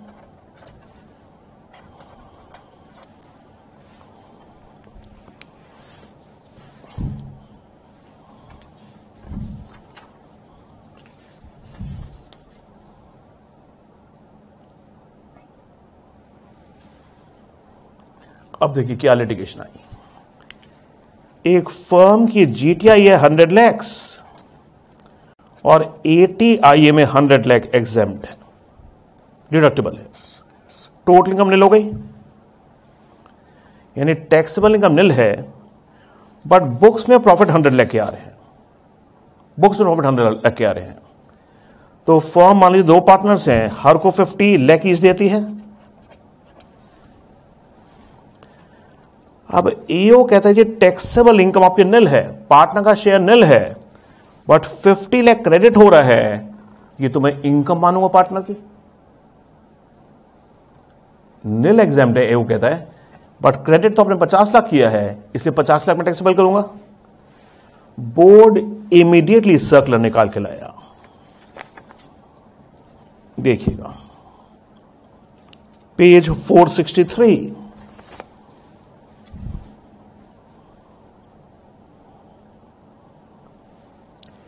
clarification on interpretation of provisions of 10 to a in cases where income of the firm is exempt. A reference has been received by the board in connection with interpretation of provisions of 10 to a of the Income Tax Act, seeking clarification as to what will be the amount exempt in hands of partner of a partnership firm where firm has claimed exemption deduction under Chapter 6 of the Act. Firm is assessed as such and is liable to pay tax on its total income. Partner is not liable to pay tax once again on the share of the said income. It is therefore clarified that total income of the firm for Section 10.2 of the Act as interpreted contextually includes income which is exempt or deductible under the various provisions of the Act. यानी जो A T I A में deductible है, वो भी exam है आपका partners के हाथ में? It as therefore clarified that income the firm to be taxed in the of firm only and the same can under no circumstances be taxed in the of the partners accordingly the entire profit credited to partners capital account in the firm would be exempted from tax in the of the partners accounts even if the income chargeable tax becomes nil in the hands of the firm on account of exemptions deductions. For example, firm की income 100 lakh है तो partners books में तो 100 lakh income आ रही होगी। Partners को 100 lakh credit किया होगा यहाँ पर चैप्टर सिक्स से में डिडक्शन है यहाँ पर निल now let us see the profits as per books of accounts are 100 lakh दो पार्टनर्स हैं दोनों को 50 50 लाख शेयर प्रॉफिट क्रेडिट कर दिया। सीबीडीटी ने क्लैरिफाई किया फर्म की इनकम निल है येट 50 लाख ईच जो क्रेडिट किया आपने पार्टनर्स कैपिटल अकाउंट को that is exempt under section 10 two A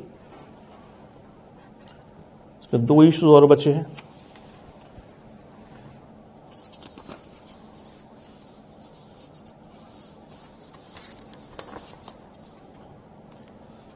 page 461 पर आइए।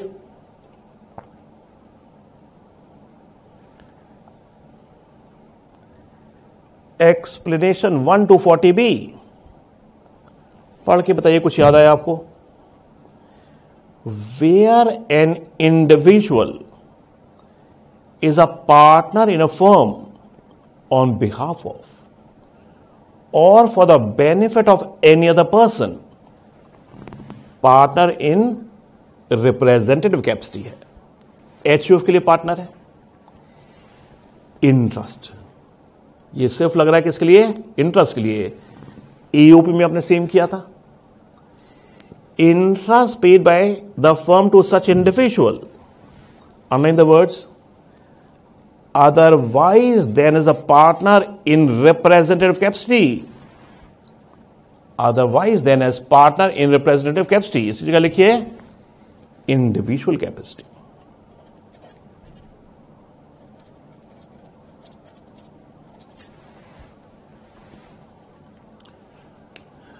तो अगर, और minded it's not for salary it's only for interest तो अगर एक इंडिविजुअल पार्टनर फॉर्म में अपने लिए नहीं है, किसी और के लिए एचयूएफ के लिए and is a partner in representative capacity then जो इंटरेस्ट फॉर्म पे करेगी, उसको अपनी इंडिविजुअल कैपेसिटी में। उसको हम 40 बी के डिसअलावेंस के लिए नहीं लेंगे। कौन सा लेंगे? जो आपने पे किया है in representative capacity to the H U F interest paid by the firm to such individual as partner in representative capacity paid to the firm to the person so represented shall be taken into account for the purpose of forty B यानी अगर आप H के लिए partner है, खुद के लिए नहीं है तो खुद के फंड्स आपने दिए हैं लोन पर फर्म को, उस पर इंटरेस्ट अलाउ हो बट अगर फर्म आपको इंटरेस्ट दे रही है एच को पे करने के लिए that is subject to forty B या फर्म डायरेक्ट एच को इंटरेस्ट पे करी है that is subject to forty B for example X is a part in a firm on behalf of his HUF that is partner in a representative capacity. Mr. X has given a loan to the firm out of his self acquired funds and the firm pays 10,000 interest to Mr. X. ये allow हो जाएगा 40 भी नहीं लगेगा इस बार firm also page पंद्रह हजार to X on behalf of the H U F उस पर फोर्टी बी लग जाएगा in this case Section 40B will not be applicable to interest payment of 10,000. 10,000 is allowable as deduction under 3613 subject to 48.2. Interest payment of 15,000 is subject to 40B. Explanation two उल्टी है कि आप किसी और के लिए पार्टनर है नहीं सॉरी आप अपने लिए पार्टनर है एक्सप्लेनेशन टू उल्टी है आप अपने लिए पार्टनर है और आपकी एच का इंटरेस्ट आपको दिया जा रहा है। आप खुद के लिए पार्टनर हैं और आप एक एचयूएफ करता भी हैं। एच फॉर्म में पार्टनर नहीं है।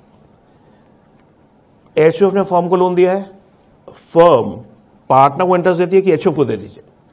तो वो इंटरेस्ट फोर्टी बी में डिसलाउ नहीं होगा। सेम हमने एओपी में किया था। Where an individual is a partner in a firm ये जो वर्ड्स एंड बोल्ड है otherwise then as partner in represent capacity लिखिए individual capacity individual capacity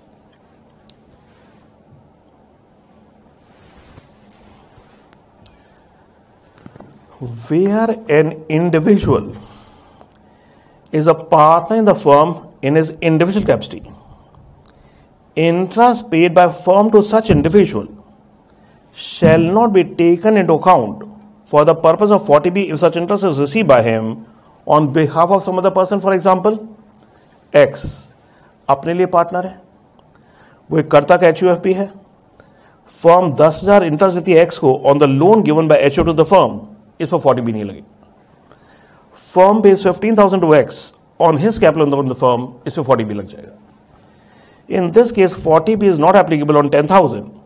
The said interest is deductible under 3613.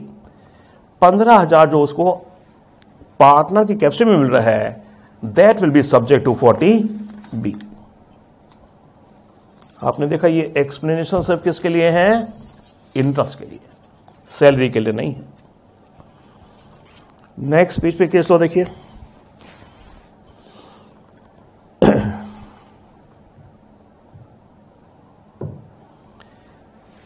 Kishori Lal and sons, salary pay to partner representing is H U F disallow हो जाएगी। Disallow हो जाएगी। Salary pay to partners in their individual capacity who has join the firm as partners representing the H U F has be disallowed क्योंकि देखिए individual can be a working partner अगर आपने partner को salary दी representing the H तो डिसला होगी। अगर salary pay की पार्टनर्स को उनकी इंडिविजुअल कैपेसिटी में, जबकि उन्होंने ज्वाइन किया था एज एच तो भी डिसला होगी because they are partners expression one two are not applicable for salary it's only for interest this is because expression one and two is applicable only to interest and not for remuneration last issue है।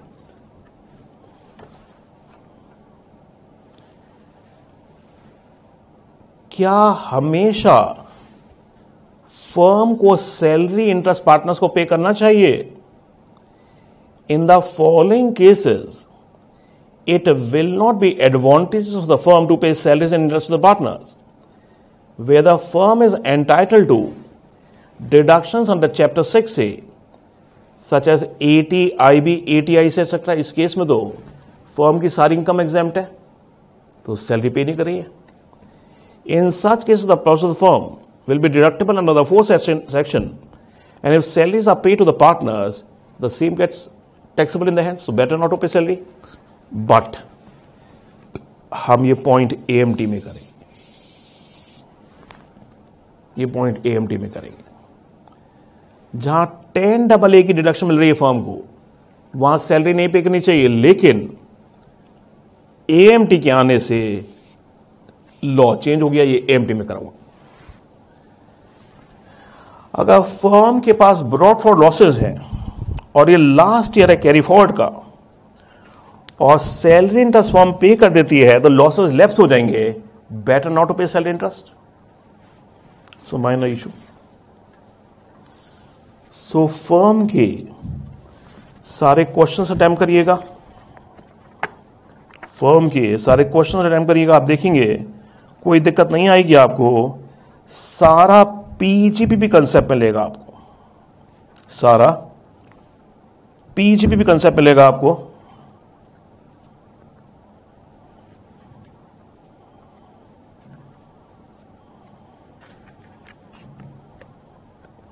एक minute देखिए। Page 483 पर question 15 देखिएगा। H S P partnership firm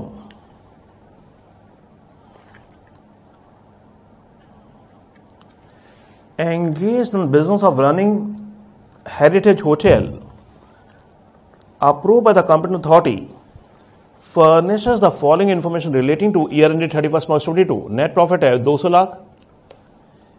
Depreciation on hotel building having WDV 1 for 21 500 lakh was charged by treating the same as plant machinery. याद आया building हमेशा building रहेगी तो यहाँ five percent depreciation extra charge किया है एड बैक करेंगे उसे expenses of 1 lakh incurred for the purpose of promoting family planning among the employees, disallowed.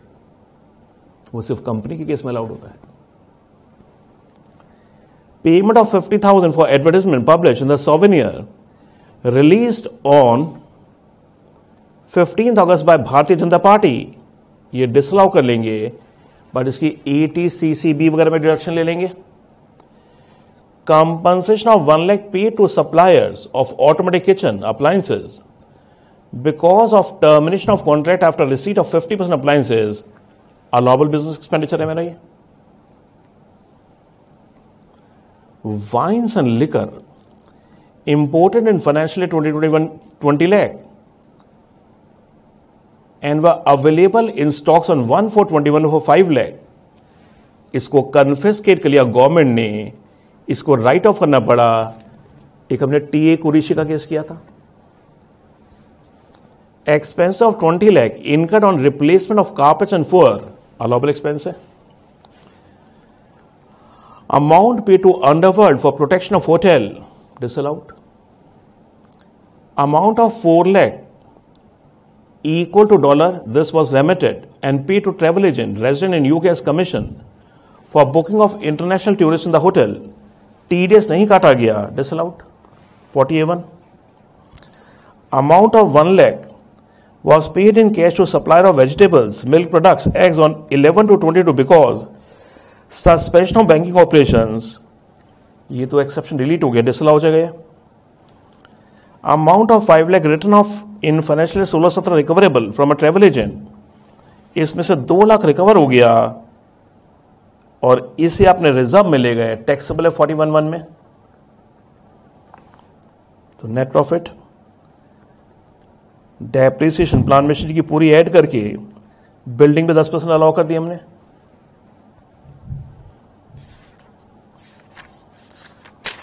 Basically आप देखेंगे क्वेश्चन मोर ऑफ़ पीजीबीपी है।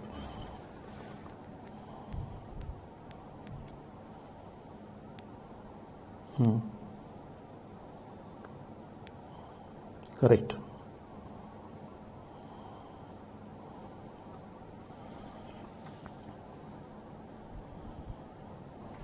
Okay. So please do attempt these questions. LLPs. Page 500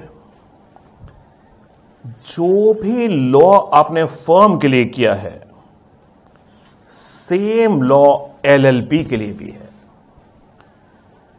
law कहता है, जहाँ भी act में firm लिखा है, फॉर्म का मतलब है partnership firm as per partnership act as well as L L P S per L L P act.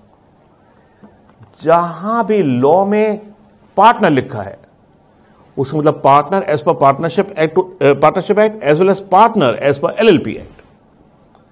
यानी पूरा law as it is L L P उसके पार्टनर्स को लग जाएगा जो हमने फर्म में किया है।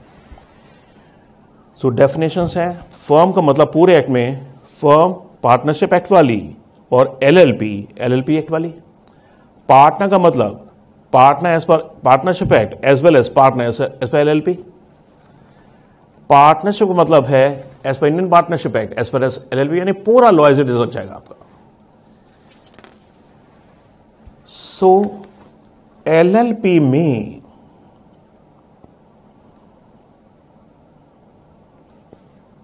एलएलपी में पार्टनर्स की लाइबिलिटी लिमिटेड होती है बट इनकम टैक्स के हम नहीं मानते।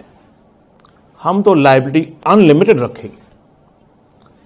लिमिटेड तभी होगी अगर वो पार्टनर प्रूव कर देता है कि जो रिकवरी नहीं हो रही, वो मेरी वजह से नहीं हो रही। मतलब उसने सभी स्टेप्स लिए हैं, ये तो कोई और पार्टनर से जो गड़बड़ कर रहे हैं। तो एलएलपी में कहते हैं पार्टनर्स की लाइबिलिटी अनलिमिटेड है। लेकिन लिमिटेड हम कर देंगे अगर वो पार्टनर प्रूव कर देता है कि कोई भी फ्रॉड वगैरह उसने नहीं किया। 167 सी देखिए। Liability of partners of LLP ये कह रहे हैं हम एलएलपी एक्ट को ओवररूल करते हैं।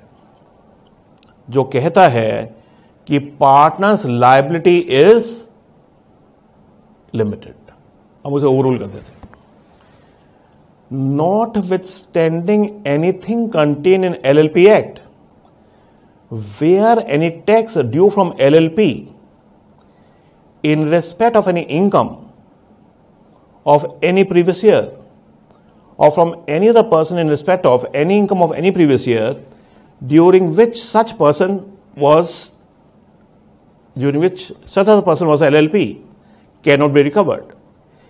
In such a case, every person who was a partner of the LLP at any time during the relevant previous year shall be jointly and severally liable for payment of tax unless he proves that non recovery cannot be attributed to any gross neglect, mispresence, breach of duty on his part in relation to the management of the LLP. So, 167 की सी कहता है overruling the LLP act partners की liability under the income tax act is unlimited so LLP पर tax लगेगा 30 percent वही जो firm का rate है रेमनेशन इंटरेस्ट 40 बी के हिसाब से होगी share of profit ten to M exam है। जो सैलरी इंटरेस्ट है टैक्सेबल देखो सब सेम है आपका, सब कुछ सेम है। फोर्टी फोर डी और फोर्टी फोर डी ए नहीं लगता है। एक क्वेश्चन आपको आया एल पे, उसे कर लीजिएगा। एक अच्छा क्वेश्चन है बहुत। अच्छा क्वेश्चन है बहुत, इसे करिएगा।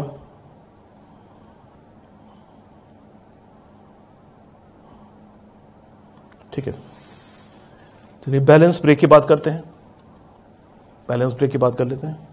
Learning destination with content partner Packer presents the Certified Management Accountant Program CMA. Be a part of the change.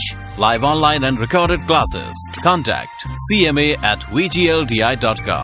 Who doesn't want to give VCCAs a trusted qualification for skilled professionals? With no aggregation, no grouping, and with exams every quarter, ACCA ensures faster progression in your career. Now, here's the silver lining. You may gain exemptions in ACCA on the basis of your present qualification and an exclusive scholarship from VG Learning, a gold approved learning path. Start the class page 502 पर आइएगा 502 एक question है पास examination से LLP के chapter में MNO corporation LLP is running two businesses textile manufacture operation of cold chain facility 35 AD वाले business आइए so cold chain facility is 35 AD is gives you the following information for the year ended 31st March 22 net profit है textile से 1025 cold chain से है 2050 The following items are debited in profit loss account. Interest on capital payable to partners 15%. On the total capital of 100 lakh, 3 lakh disallow होगा. Working partner salary 36 lakhs. 1 lakh each per month for 3 partners. 12 lakh into तीन छत्तीस lakh depreciation on textile factory building 5 lakh. Depreciation on plant machinery textile business 35 lakh. Keyman insurance policy premium paid 155 allowed other information. Eligible depreciation under 32 are plant machinery textile business 27 lakh. Factory building relating to textile business four lakh as per books depreciation disallow जाएगी as per income tax allow होगी the assessee setup and start operating cold chain facility since first April twenty thirty five AD वाला business हो गया it incurred capital expenditure towards construction of cold chain facility during the period 1st June 18 to 31st March 20 as under cost of land 30 AD में allow नहीं होता ये cost of construction of buildings machinery installed till 31st March 2050 lakh income previous year 2021 last year is given below textile business 12 lakh cold chain facility 40 lakh firm के चार partners थे। एक partner retire हो गया। Partnership deed authorises payment of salary and interest. आपको 22 to 23 की इनकम निकालनी है। सबसे पहले क्या करिए? असेसमेंट या 21 22 की इनकम निकालिए। कोल्ड चेन फैसिलिटी से पेज 503 40 लाख का प्रॉफिट है। और 35 एडी में आपको डिडक्शन मिल जाएगी। 100 परसेंट ऑफ़ कैपिटल एक्सपेंडिचर आपने इनकर किया।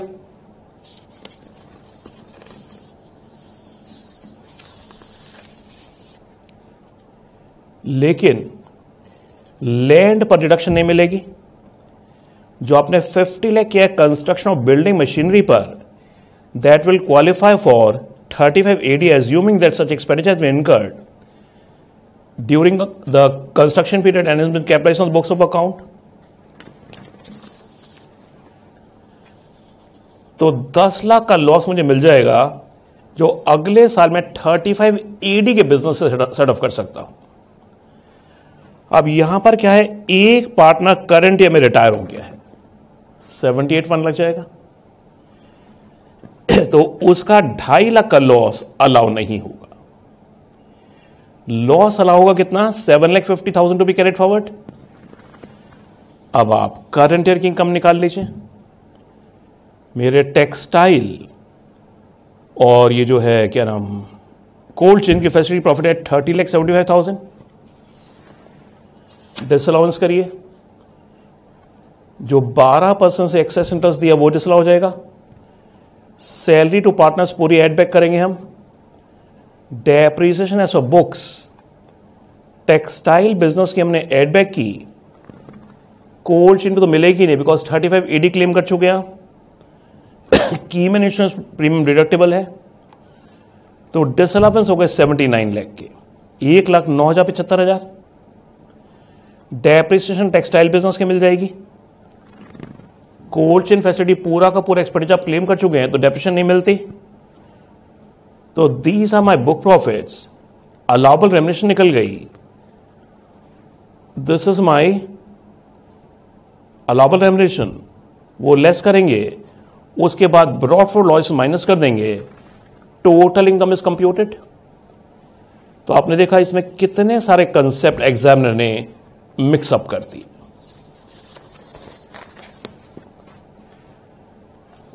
before we start the chapter of clubbing of income एक कंसेप्ट करते हैं। पेज 517 एक होता है diversion of income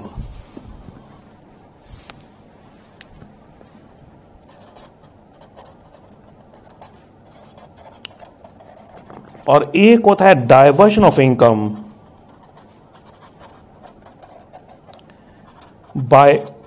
overriding title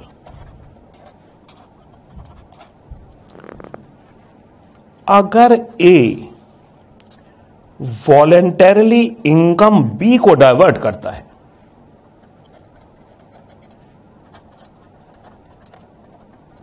ए ऐसा क्यों कर रहा है? ताकि क्योंकि ए 42.74 परसेंट एसेस होता है और बी 20 परसेंट एसेस होता है। तो इसको इनकम डाइवर्ट करके इससे बाद में पैसा कैश में ले लेगा।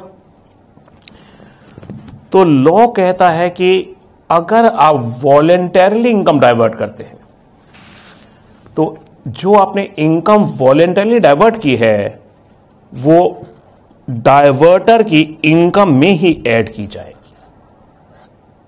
बी की इनकम ऐड नहीं होगी। एक होता है diversion of income by overriding title यानी किसी लीगल ऑब्लिगेशन की वजह से आपने इनकम डाइवर्ट की है। जैसे कि फादर ने अपनी विल में लिखा कि मैं सन को हाउस प्रॉपर्टी दे रहा हूँ। फादर ने अपनी विल में लिखा कि मैं सन को हाउस प्रॉपर्टी दे रहा हूँ। बट ये विल तभी वैलिड होगी अगर सन जो है, बेटा जो है इस हाउस प्रॉपर्टी से जो इनकम आएगी, सारी मदर को देगा। अब इस हाउस प्रॉपर्टी से 10 लाख रेंटल इनकम आती है सन मदर को दे देता है। तो इसे हम कहेंगे diversion of income by overriding title क्योंकि सन को देना मस्ट है because of the legal obligation तो जहाँ इनकम डाइवर्ट होती है बिकॉज़ ऑफ़ लीगल ऑब्लिगेशन तो जो डाइवर्ट कर रहा है, उसकी इनकम ऐड नहीं होती। जो रिसीवर है, उसकी इनकम ऐड हो। जैसे मदर मेरे की इसमें एग्ज़ाम्पल थी। तो अगर वॉलेंट्री डाइवर्जन है, फिर तो इनकम रिसीवर के हाथ में टैक्स ना होकर, जो डाइवर्ट कर रहा है, उसके हाथ में टैक्स होगी। अगर डाइवर्शन हो रहा है because of a legal obligation तो जिसको इनकम मिल रही है डाइवर्ट होकर, उसके हाथ में इनकम टैक्स होगी। In my example mother page 517 concept देखिए। If an assessee voluntarily diverts his income to some other person then the income so diverted shall be included in the income the person who diverted the income and shall not be taxable in hands of receiver. Same is not the case where income is diverted by overriding title. Diversion of income by overriding title means that the income is diverted because of a legal obligation. The source of income is subject to legal obligation. In case the income is diverted, because of a legal obligation, an income shall not be included in the income of the person who has diverted the income, but shall be taxable in the hands of recipient. For example, lottery ticket में लिखा होता है कि अगर आपकी first prize निकली तो आपको 40 परसेंट लॉटरी प्राइस का देना पड़ेगा स्टेट गवर्नमेंट को एजेंट को जिसने लॉटरी कंडक्ट की है आपका एक करोड़ का इनाम निकला आपने 40 लाख स्टेट गवर्नमेंट और लॉट रेजेंट को दिया। ये क्या हो गया? Diversion of income by overriding title so आपकी लॉटरी इनकम जो टैक्सेबल होगी सिक्सटी लैख होगी, ना कि one crore for example in case of a lottery as per the lottery agreement certain percentage of the first prize paid to the state government and the lottery agent in this case the lottery income is subject to legal obligation And therefore, the amount paid to the state government lottery agent is on account of legal obligation. तो एक करोड़ में से आपने 40 lakh agent state government को दिया वो आपके हाथ में टैक्सेबल नहीं है एक क्वेश्चन देखिएगा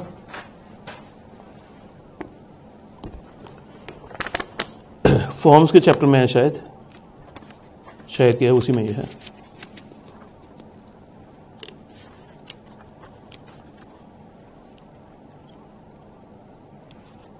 थिंक क्वेश्चन एट था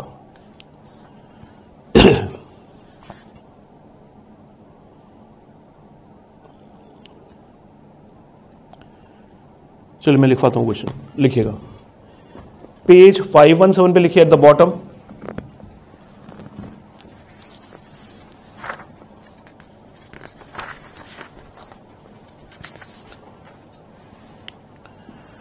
father in his will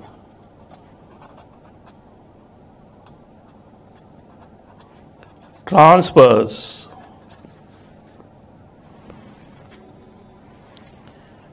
house property to son. The will states that the will will be effective only if son gives rental income from house property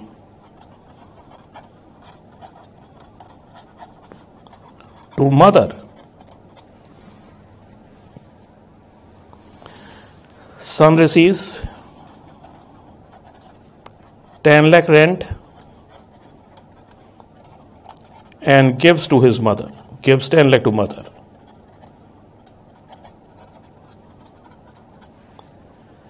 So father in his will transfers house property to son.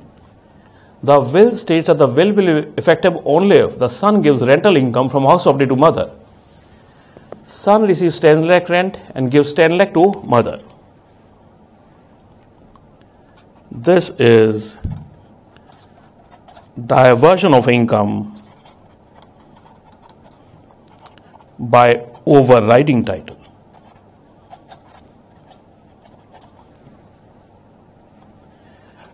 rental income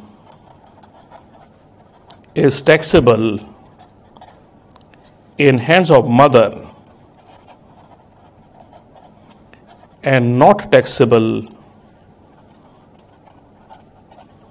in hands of son.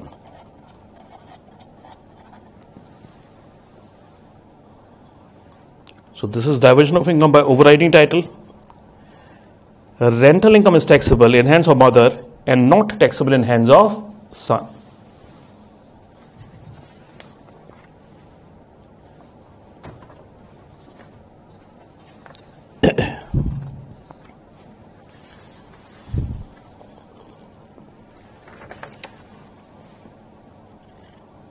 एक case लो देखिए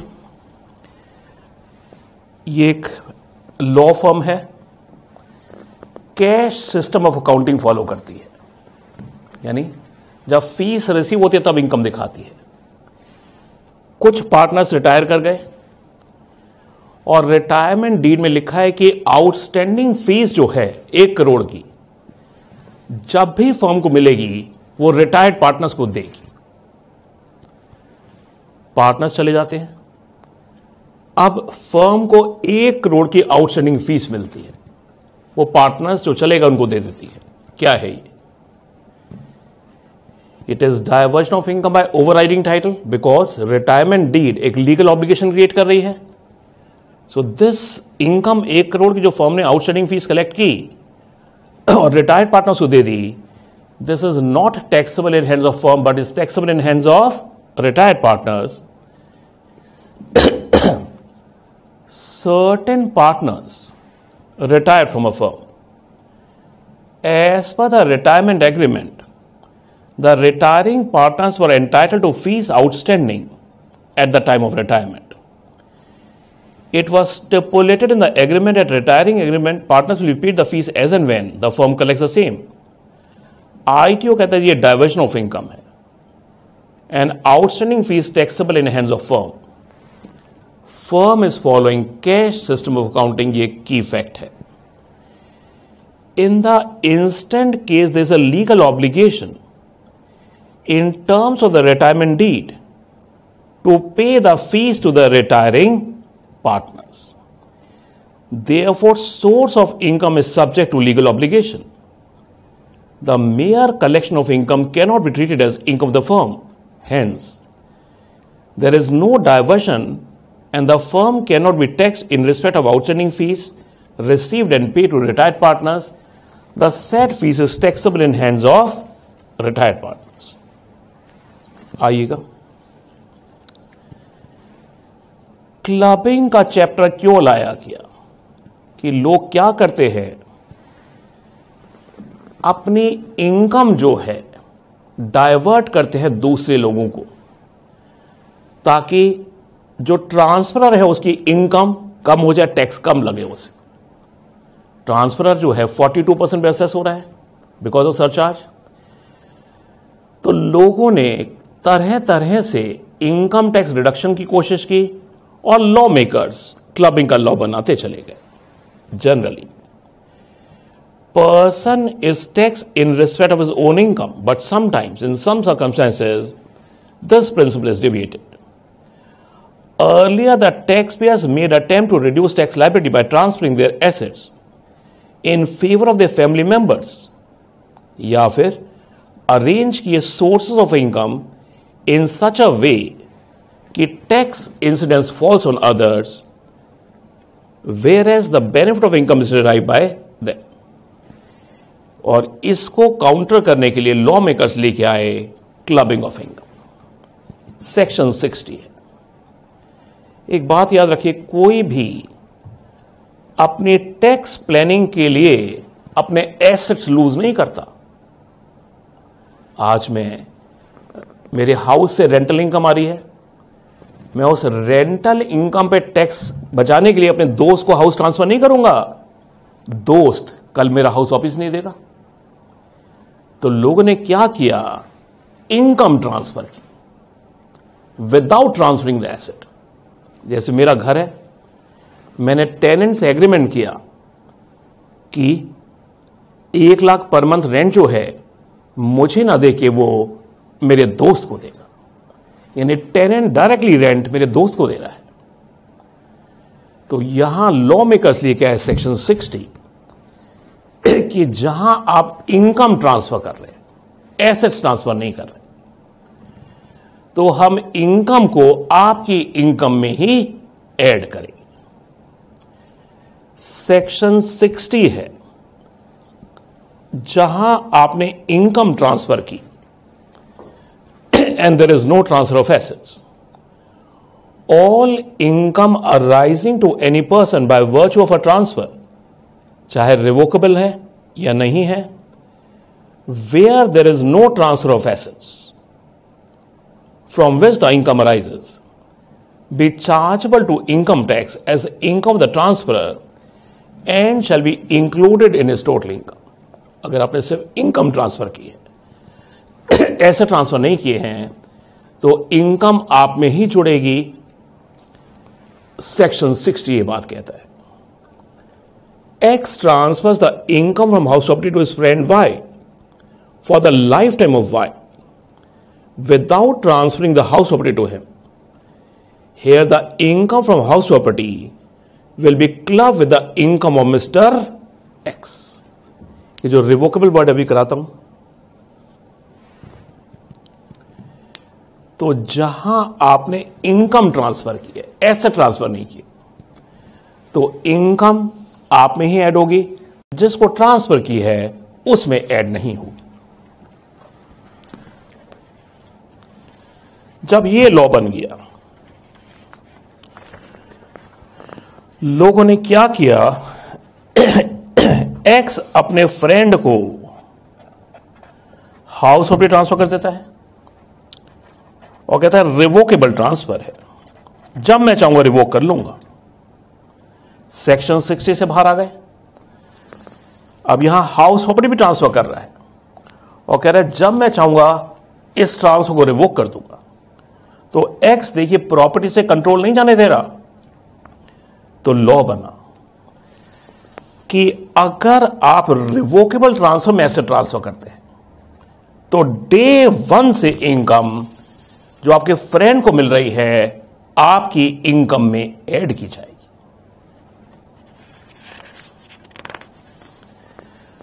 तो अगर revocable transfer है तो जो income है आपकी ही इनकम ऐड की जाएगी, जो ट्रांसफ़र है, उसकी इनकम ऐड की जाएगी। पर लॉ कहता है, अगर ट्रांसफ़र इरिवोकेबल है तो ट्रांसफरर ट्रांसफरी को एक हाउस ट्रांसफ़र कर रहा है अंडर इरिवोकेबल ट्रांसफ़र तो लॉ कहता है इनकम हम ट्रांसफ़र में नहीं जोड़ेंगे ट्रांसफरी में जोड़ेंगे।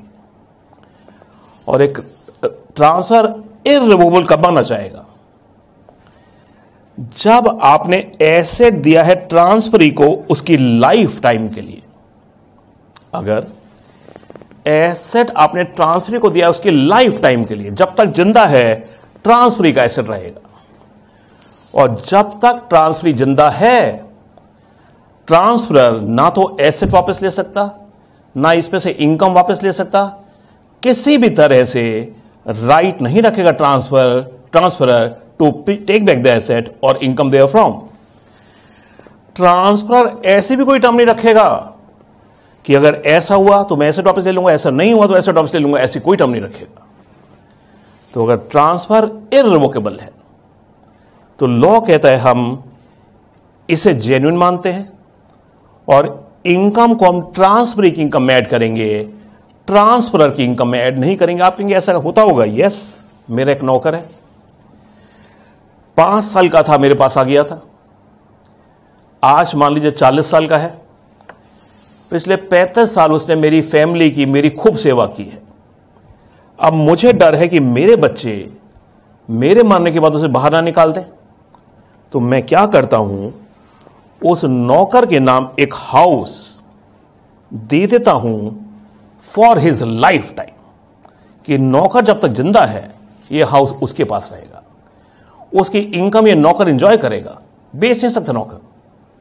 My servant can not sell it सिर्फ़ प्रॉपर्टी इंजॉय कर सकता है, उसकी इनकम इंजॉय कर सकता है। और जब इसकी डेथ हो जाएगी एसेट मेरे पास वापस आ जाएगा।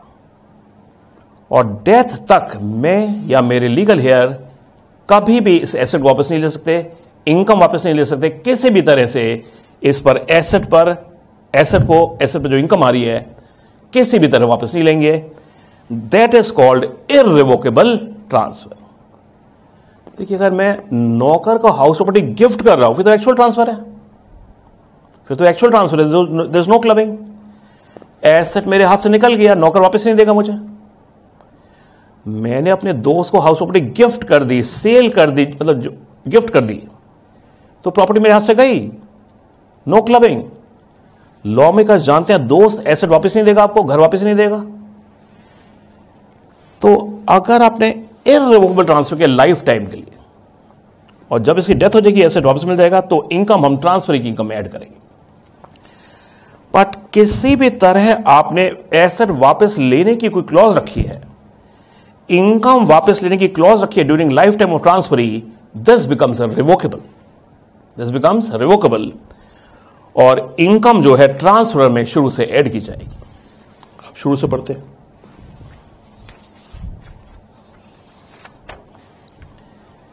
सेक्शन 60 है, जहाँ आपने इनकम ट्रांसफ़र की। देखिए, एक बात सुनिए।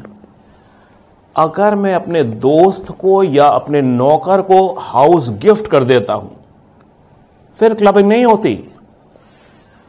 क्योंकि जो नौकर है या मेरा दोस्त है, मुझे घर वापस नहीं देगा। एसेट मेरे हाथ से निकल गया। इसलिए लोग क्या करते थे? इनकम ट्रांसफ़र दिखाते थे। मैंने इनकम ट्रांसफ़र किया। इसलिए सेक्शन 60 लेके आए। आपने इनकम ट्रांसफ़र कर दी है। चाहे लाइफ टाइम के लिए ट्रांसफ़र किए है। ऐसे ट्रांसफ़र नहीं किया। ऐसे ट्रांसफ़र नहीं किया। इनकम ट्रांसफ़र किया। All income arising to a person by virtue of transfer whether revocable और नॉट चाहे आपने लाइफ टाइम के लिए इनकम ट्रांसफ़र किए हो, या फिर लिमिटेड पीरियड के लिए किए हो, ऐसे ट्रांसफ़र नहीं हो रहा। इरेवोकेबल कब होता है? जब ऐसे ट्रांसफ़र करें लाइफ टाइम के लिए। यहाँ इनकम ट्रांसफ़र किया आपने लाइफ टाइम के लिए ऐसे ट्रांसफ़र नहीं किया। Where there is no transfer of assets from which the asset income arises तो इनकम जो है ट्रांसफ़र में ऐड करेंगे ट्रांसफ़र में ऐड नहीं होगी। X transfer the income of house of to B to friend Y for life time of Y without transferring the house property this is not irrevocable irrevocable तब होता, जब मैं दोस्त को वाई को हाउस प्रॉपर्टी प्लस इनकम दोनों transfer करता life time के लिए। Here the income from house property will be club with income of Mr X अगर आपने सेक्शन 60 आया तो लोगों ने क्या किया? एसेट भी ट्रांसफ़र करना शुरू कर दिया। और कहा एसेट हम ट्रांसफ़र कर रहे हैं बट जब चाहे वापस ले लेंगे। तो लॉ मेकर्स ने कहा, अगर ट्रांसफ़र रिवोकेबल है तो हम डे वन से इनकम ट्रांसफरर की इनकम में ऐड करेंगे। All incomes arising to any person by virtue of a revocable transfer of assets shall be chargeable to income tax as income of transferor and shall be included in his income. Mister X ने house property transfer की Y को सात साल के लिए transfer revocable है seven years के बाद but will be treated revocable transfer and therefore इन सात सालों में जो इनकम आएगी, वो मिस्टर एक्स में ही क्लब हो अगर आप इरिवोकेबल ट्रांसफ़र करें व्हाट इज़ इरिवोकेबल ट्रांसफ़र जहाँ मैंने अपने दोस्त को, अपने नौकर को प्रॉपर्टी ऐसे ट्रांसफ़र किया लाइफ टाइम के लिए, या मैंने क्या कि एक ट्रस्ट बना दी? ट्रस्ट में सर्वेंट को या फ्रेंड को बेनिफिशियरी बना दिया। और अब इस ट्रस्ट को ऐसे ट्रांसफ़र किया फॉर देयर लाइफ टाइम एक तो है मैंने इनको ही दे दी लाइफ टाइम के लिए, या फिर एक ट्रस्ट बनाकर उसमें इनको बेनिफिशियरी बना दिया, वहाँ पर ट्रस्ट को ऐसे दे दिया for life time of these person where any asset is transfer to any person by way of a trust which is not revocable during the life time of beneficiary यानी मैं रिवोक नहीं कर सकता जब तक बेनिफिशरी ज़िंदा है, या फिर मैंने नौकर को, दोस्त को ऐसे ट्रांसफ़र किया which is not revocable during the life time of my servant और फ्रेंड तो लॉ कहेगा जो इनकम आएगी ट्रांसफरी को, वो ट्रांसफरी में ऐड होगी। ट्रांसफरर में इनकम तब ऐड होगी जब ट्रांसफ़र की डेथ हो जाएगी। Then all incomes So where asset is transferred to any person, मैंने ट्रस्ट बना दी जिसमें बेनिफिशियरी बना दी अपने सर्वेंट को या दोस्त को और एसेट ट्रांसफ़र किया ट्रस्ट को and I cannot revoke the transfer during the life time of the servant और फ्रेंड या फिर मैंने ट्रस्ट ना बनाकर अपने फ्रेंड को, अपने सर्वेंट को उनकी लाइफ टाइम के लिए ऐसे ट्रांसफ़र कर दिया। तो जितनी भी इनकम आएगी from asset shall be included in the income of the transferee and not the income of transfer law इसे जेन्यून ट्रांसफ़र मानता है। This shall apply only if the transferor derive no direct indirect benefit from such income oblique income and assets. And assets. In either case. ना ही income में से कोई benefit लेगा ना एसेट में से बेनिफिट लेगा इन आइदर केस लॉ कहेगा कि ट्रांसफ़र की इनकम में हम तब से इनकम ऐड करेंगे जब पॉवर टू रिवोक उसे राइज हो जाता है however all income arising to any person by virtue of any such transfer shall be chargeable to income tax as income of transferor as and when the power to revoke arises to him. Power to revoke is the death of the beneficiary transferee and shall be included in his total income after death. Suppose मेरे servant को मैंने life time के लिए asset दिया और servant की death हो गई वन वन ट्वेंटी टू को। मैंने एसेट रिवोक किया थर्टी जून ट्वेंटी टू को। तो लॉ कहता है, जैसे ही पॉवर्टी रिवोक आपको राइज होगी, आपकी इनकम में ऐड होना शुरू हो जाएगा। यानी इस दिन से इनकम ट्रांसफ़र की इनकम में ऐड होनी शुरू हो जाएगी। Illustration Mr A transfers his house to B for life time of B the transfer is irrevocable and income from house property from the date of transfer shall be included in income of B and not Mr. A. On death of Mr. B, the income from house property shall be included in income of Mr. A from death, date of death. Date of death. The income shall be included in income of Mr. A even if Mr. A does not revoke the transfer on the death of B because law कह रहा है income shall be included in the income of transferor as and when the power to revoke arises to him actual revocation is not relevant however if in the above illustration Mr. A had reserved a right to get back the property or income therefrom from B during lifetime of B, then transfer will be revocable और income day one से mister A में club हो। Law कहता है, हम transfer को revocable मानेंगे। चाहे आपने लाइफ टाइम के लिए दिया है, हम रिवोकेबल मानेंगे। अगर आपने किसी भी तरह से एसेट या इनकम को वापस लेने का कोई क्लॉज डाला हुआ है, या फिर आपने कुछ ऐसा लिखा हुआ है कि ट्रांसफ़र इन्हें ऐसा किया, ऐसा नहीं किया तो एसेट वापस आ जाएगा इनकम वापस आ जाएगी। ऐसा कोई क्लॉज डाला है तो हम ट्रांसफ़र कर रहे वो केबल माने for the purpose of section sixty sixty one sixty two a transfer shall be deem to be revocable if it contains any provision for retransfer directly indirectly of the whole और any part of the income assess to the transfer during the life time of the transfer of beneficiary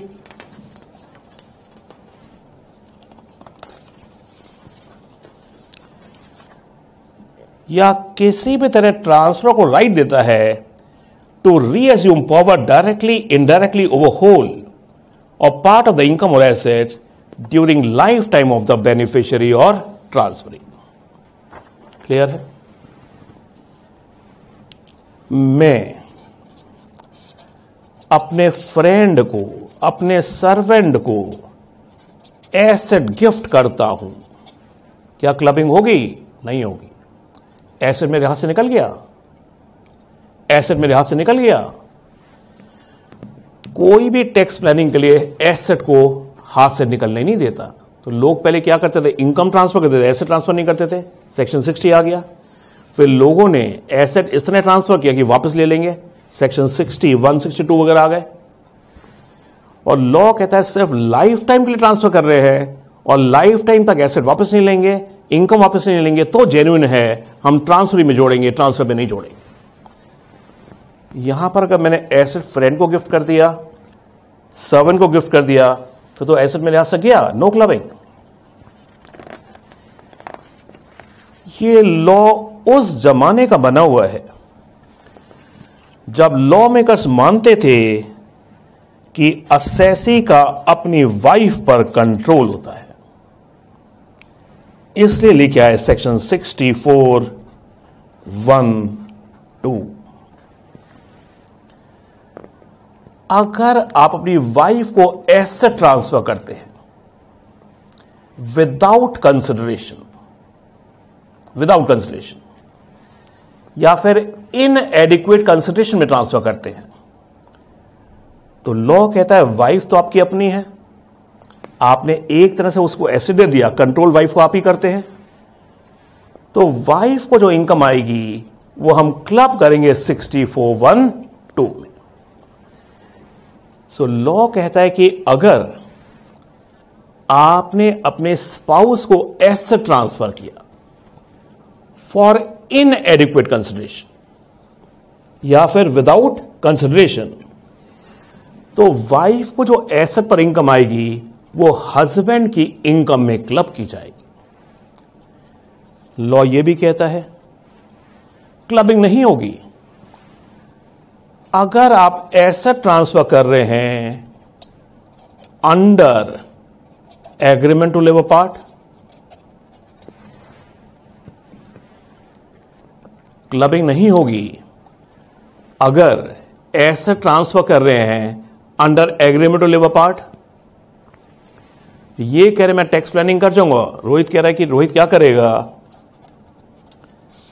अपनी wife के साथ agreement to live apart करेगा उसको सौ करोड़ के assets दे देगा। कहेगा, ये एग्रीमेंट झूठी मोटी का है। देखिए, जब वाइफ के पास हंड्रेड करोड़ आ जाएँगे तो वाइफ आपसे कोई बेटर बंदा ढूंढ लेगी। वो कहे कि ये झूठ मूठ का एग्रीमेंट थोड़ी था ये तो रियल एग्रीमेंट था। And they've for tata bye bye तो आप देखिए टैक्स प्लानिंग कर गए क्लबिंग बचा गए बट सौ करोड़ पे गया वाइफ भी चली गई। सो ऐसा कोई करता नहीं।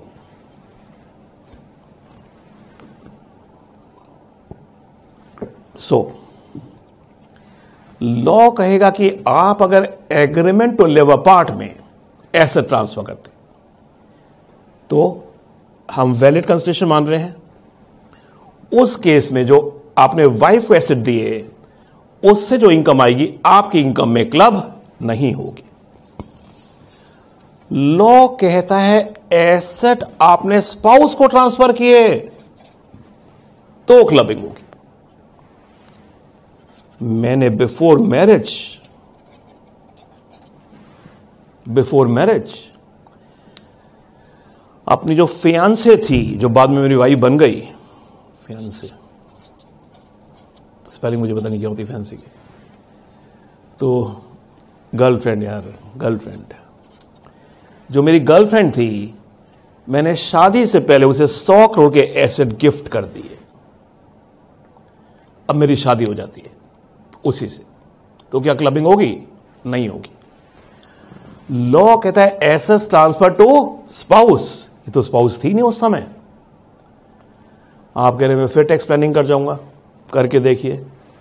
जिससे शादी होने वाली है उसके नाम ऐसे ट्रांसफ़र कर देंगे वो शादी करने से मना कर देगी। फिर क्या करेंगे आप? जो ज़बरदस्ती थोड़ी कर सकते हैं। सो so, आप ऐसे ट्रांसफ़र करते हैं स्पाउस को विदाउट कंसिडरेशन या इन एडिक्वेट कंसिडरेशन तो उन एसेट्स जो इनकम आएगी हस्बैंड की इनकम में ऐड की जाएगी। क्लबिंग नहीं होगी। क्लबिंग नहीं होगी। अगर under an agreement to live a part ऐसे ट्रांसफ़र हो रहे हैं। क्लबिंग नहीं होगी। अगर शादी से पहले ऐसे ट्रांसफ़र हो रहे हैं। चाहे बाद में शादी हो जाती है। Because law talks about assets transfer to spouse इसको इनफैक्ट ये सिक्सटी फोर वन टू नहीं था वन फोर था sorry one four sixty four one four था ये टू नहीं था.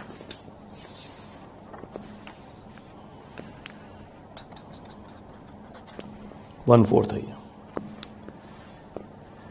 सो नेक्स्ट क्लास में करेंगे इसे? तो जहाँ आप वाइफ को ऐसे ट्रांसफ़र कर रहे हैं तो फॉर इनएडिक्यूट कंसेशन और विदाउट कंसेशन तो इनकम आपकी इनकम में क्लब होगी। क्लबिंग नहीं होगी अगर ऐसे ट्रांसफ़र करें under under agreement to live part clubbing नहीं होगी अगर ऐसे ट्रांसफ़र करें बिफोर मैरिज तो फ्रेंड्स नेक्स्ट क्लास में क्लबिंग कंप्लीट करेंगे। और नेक्स्ट uh, क्लास में हमारा मॉड्यूल कंप्लीट हो जाएगा और मॉड्यूल टू स्टार्ट करेंगे। मैं पहली बार लाइफ में असेसमेंट्स पेनल्टीज वगैरह फ़र्स्ट मॉड्यूल की बात करा रहा हूँ। नॉर्मली मैं थर्ड या फोर्थ मॉड्यूल में कराता था। बट आप देखेंगे major part of the course is module two तो आज के लिए इतना ही रुकते हैं। थोड़ा जल्दी कर लेते हैं आज क्लास। सो नेक्स्ट क्लास में क्लबिंग कंप्लीट करेंगे। So bring module one and two in the next class will stop here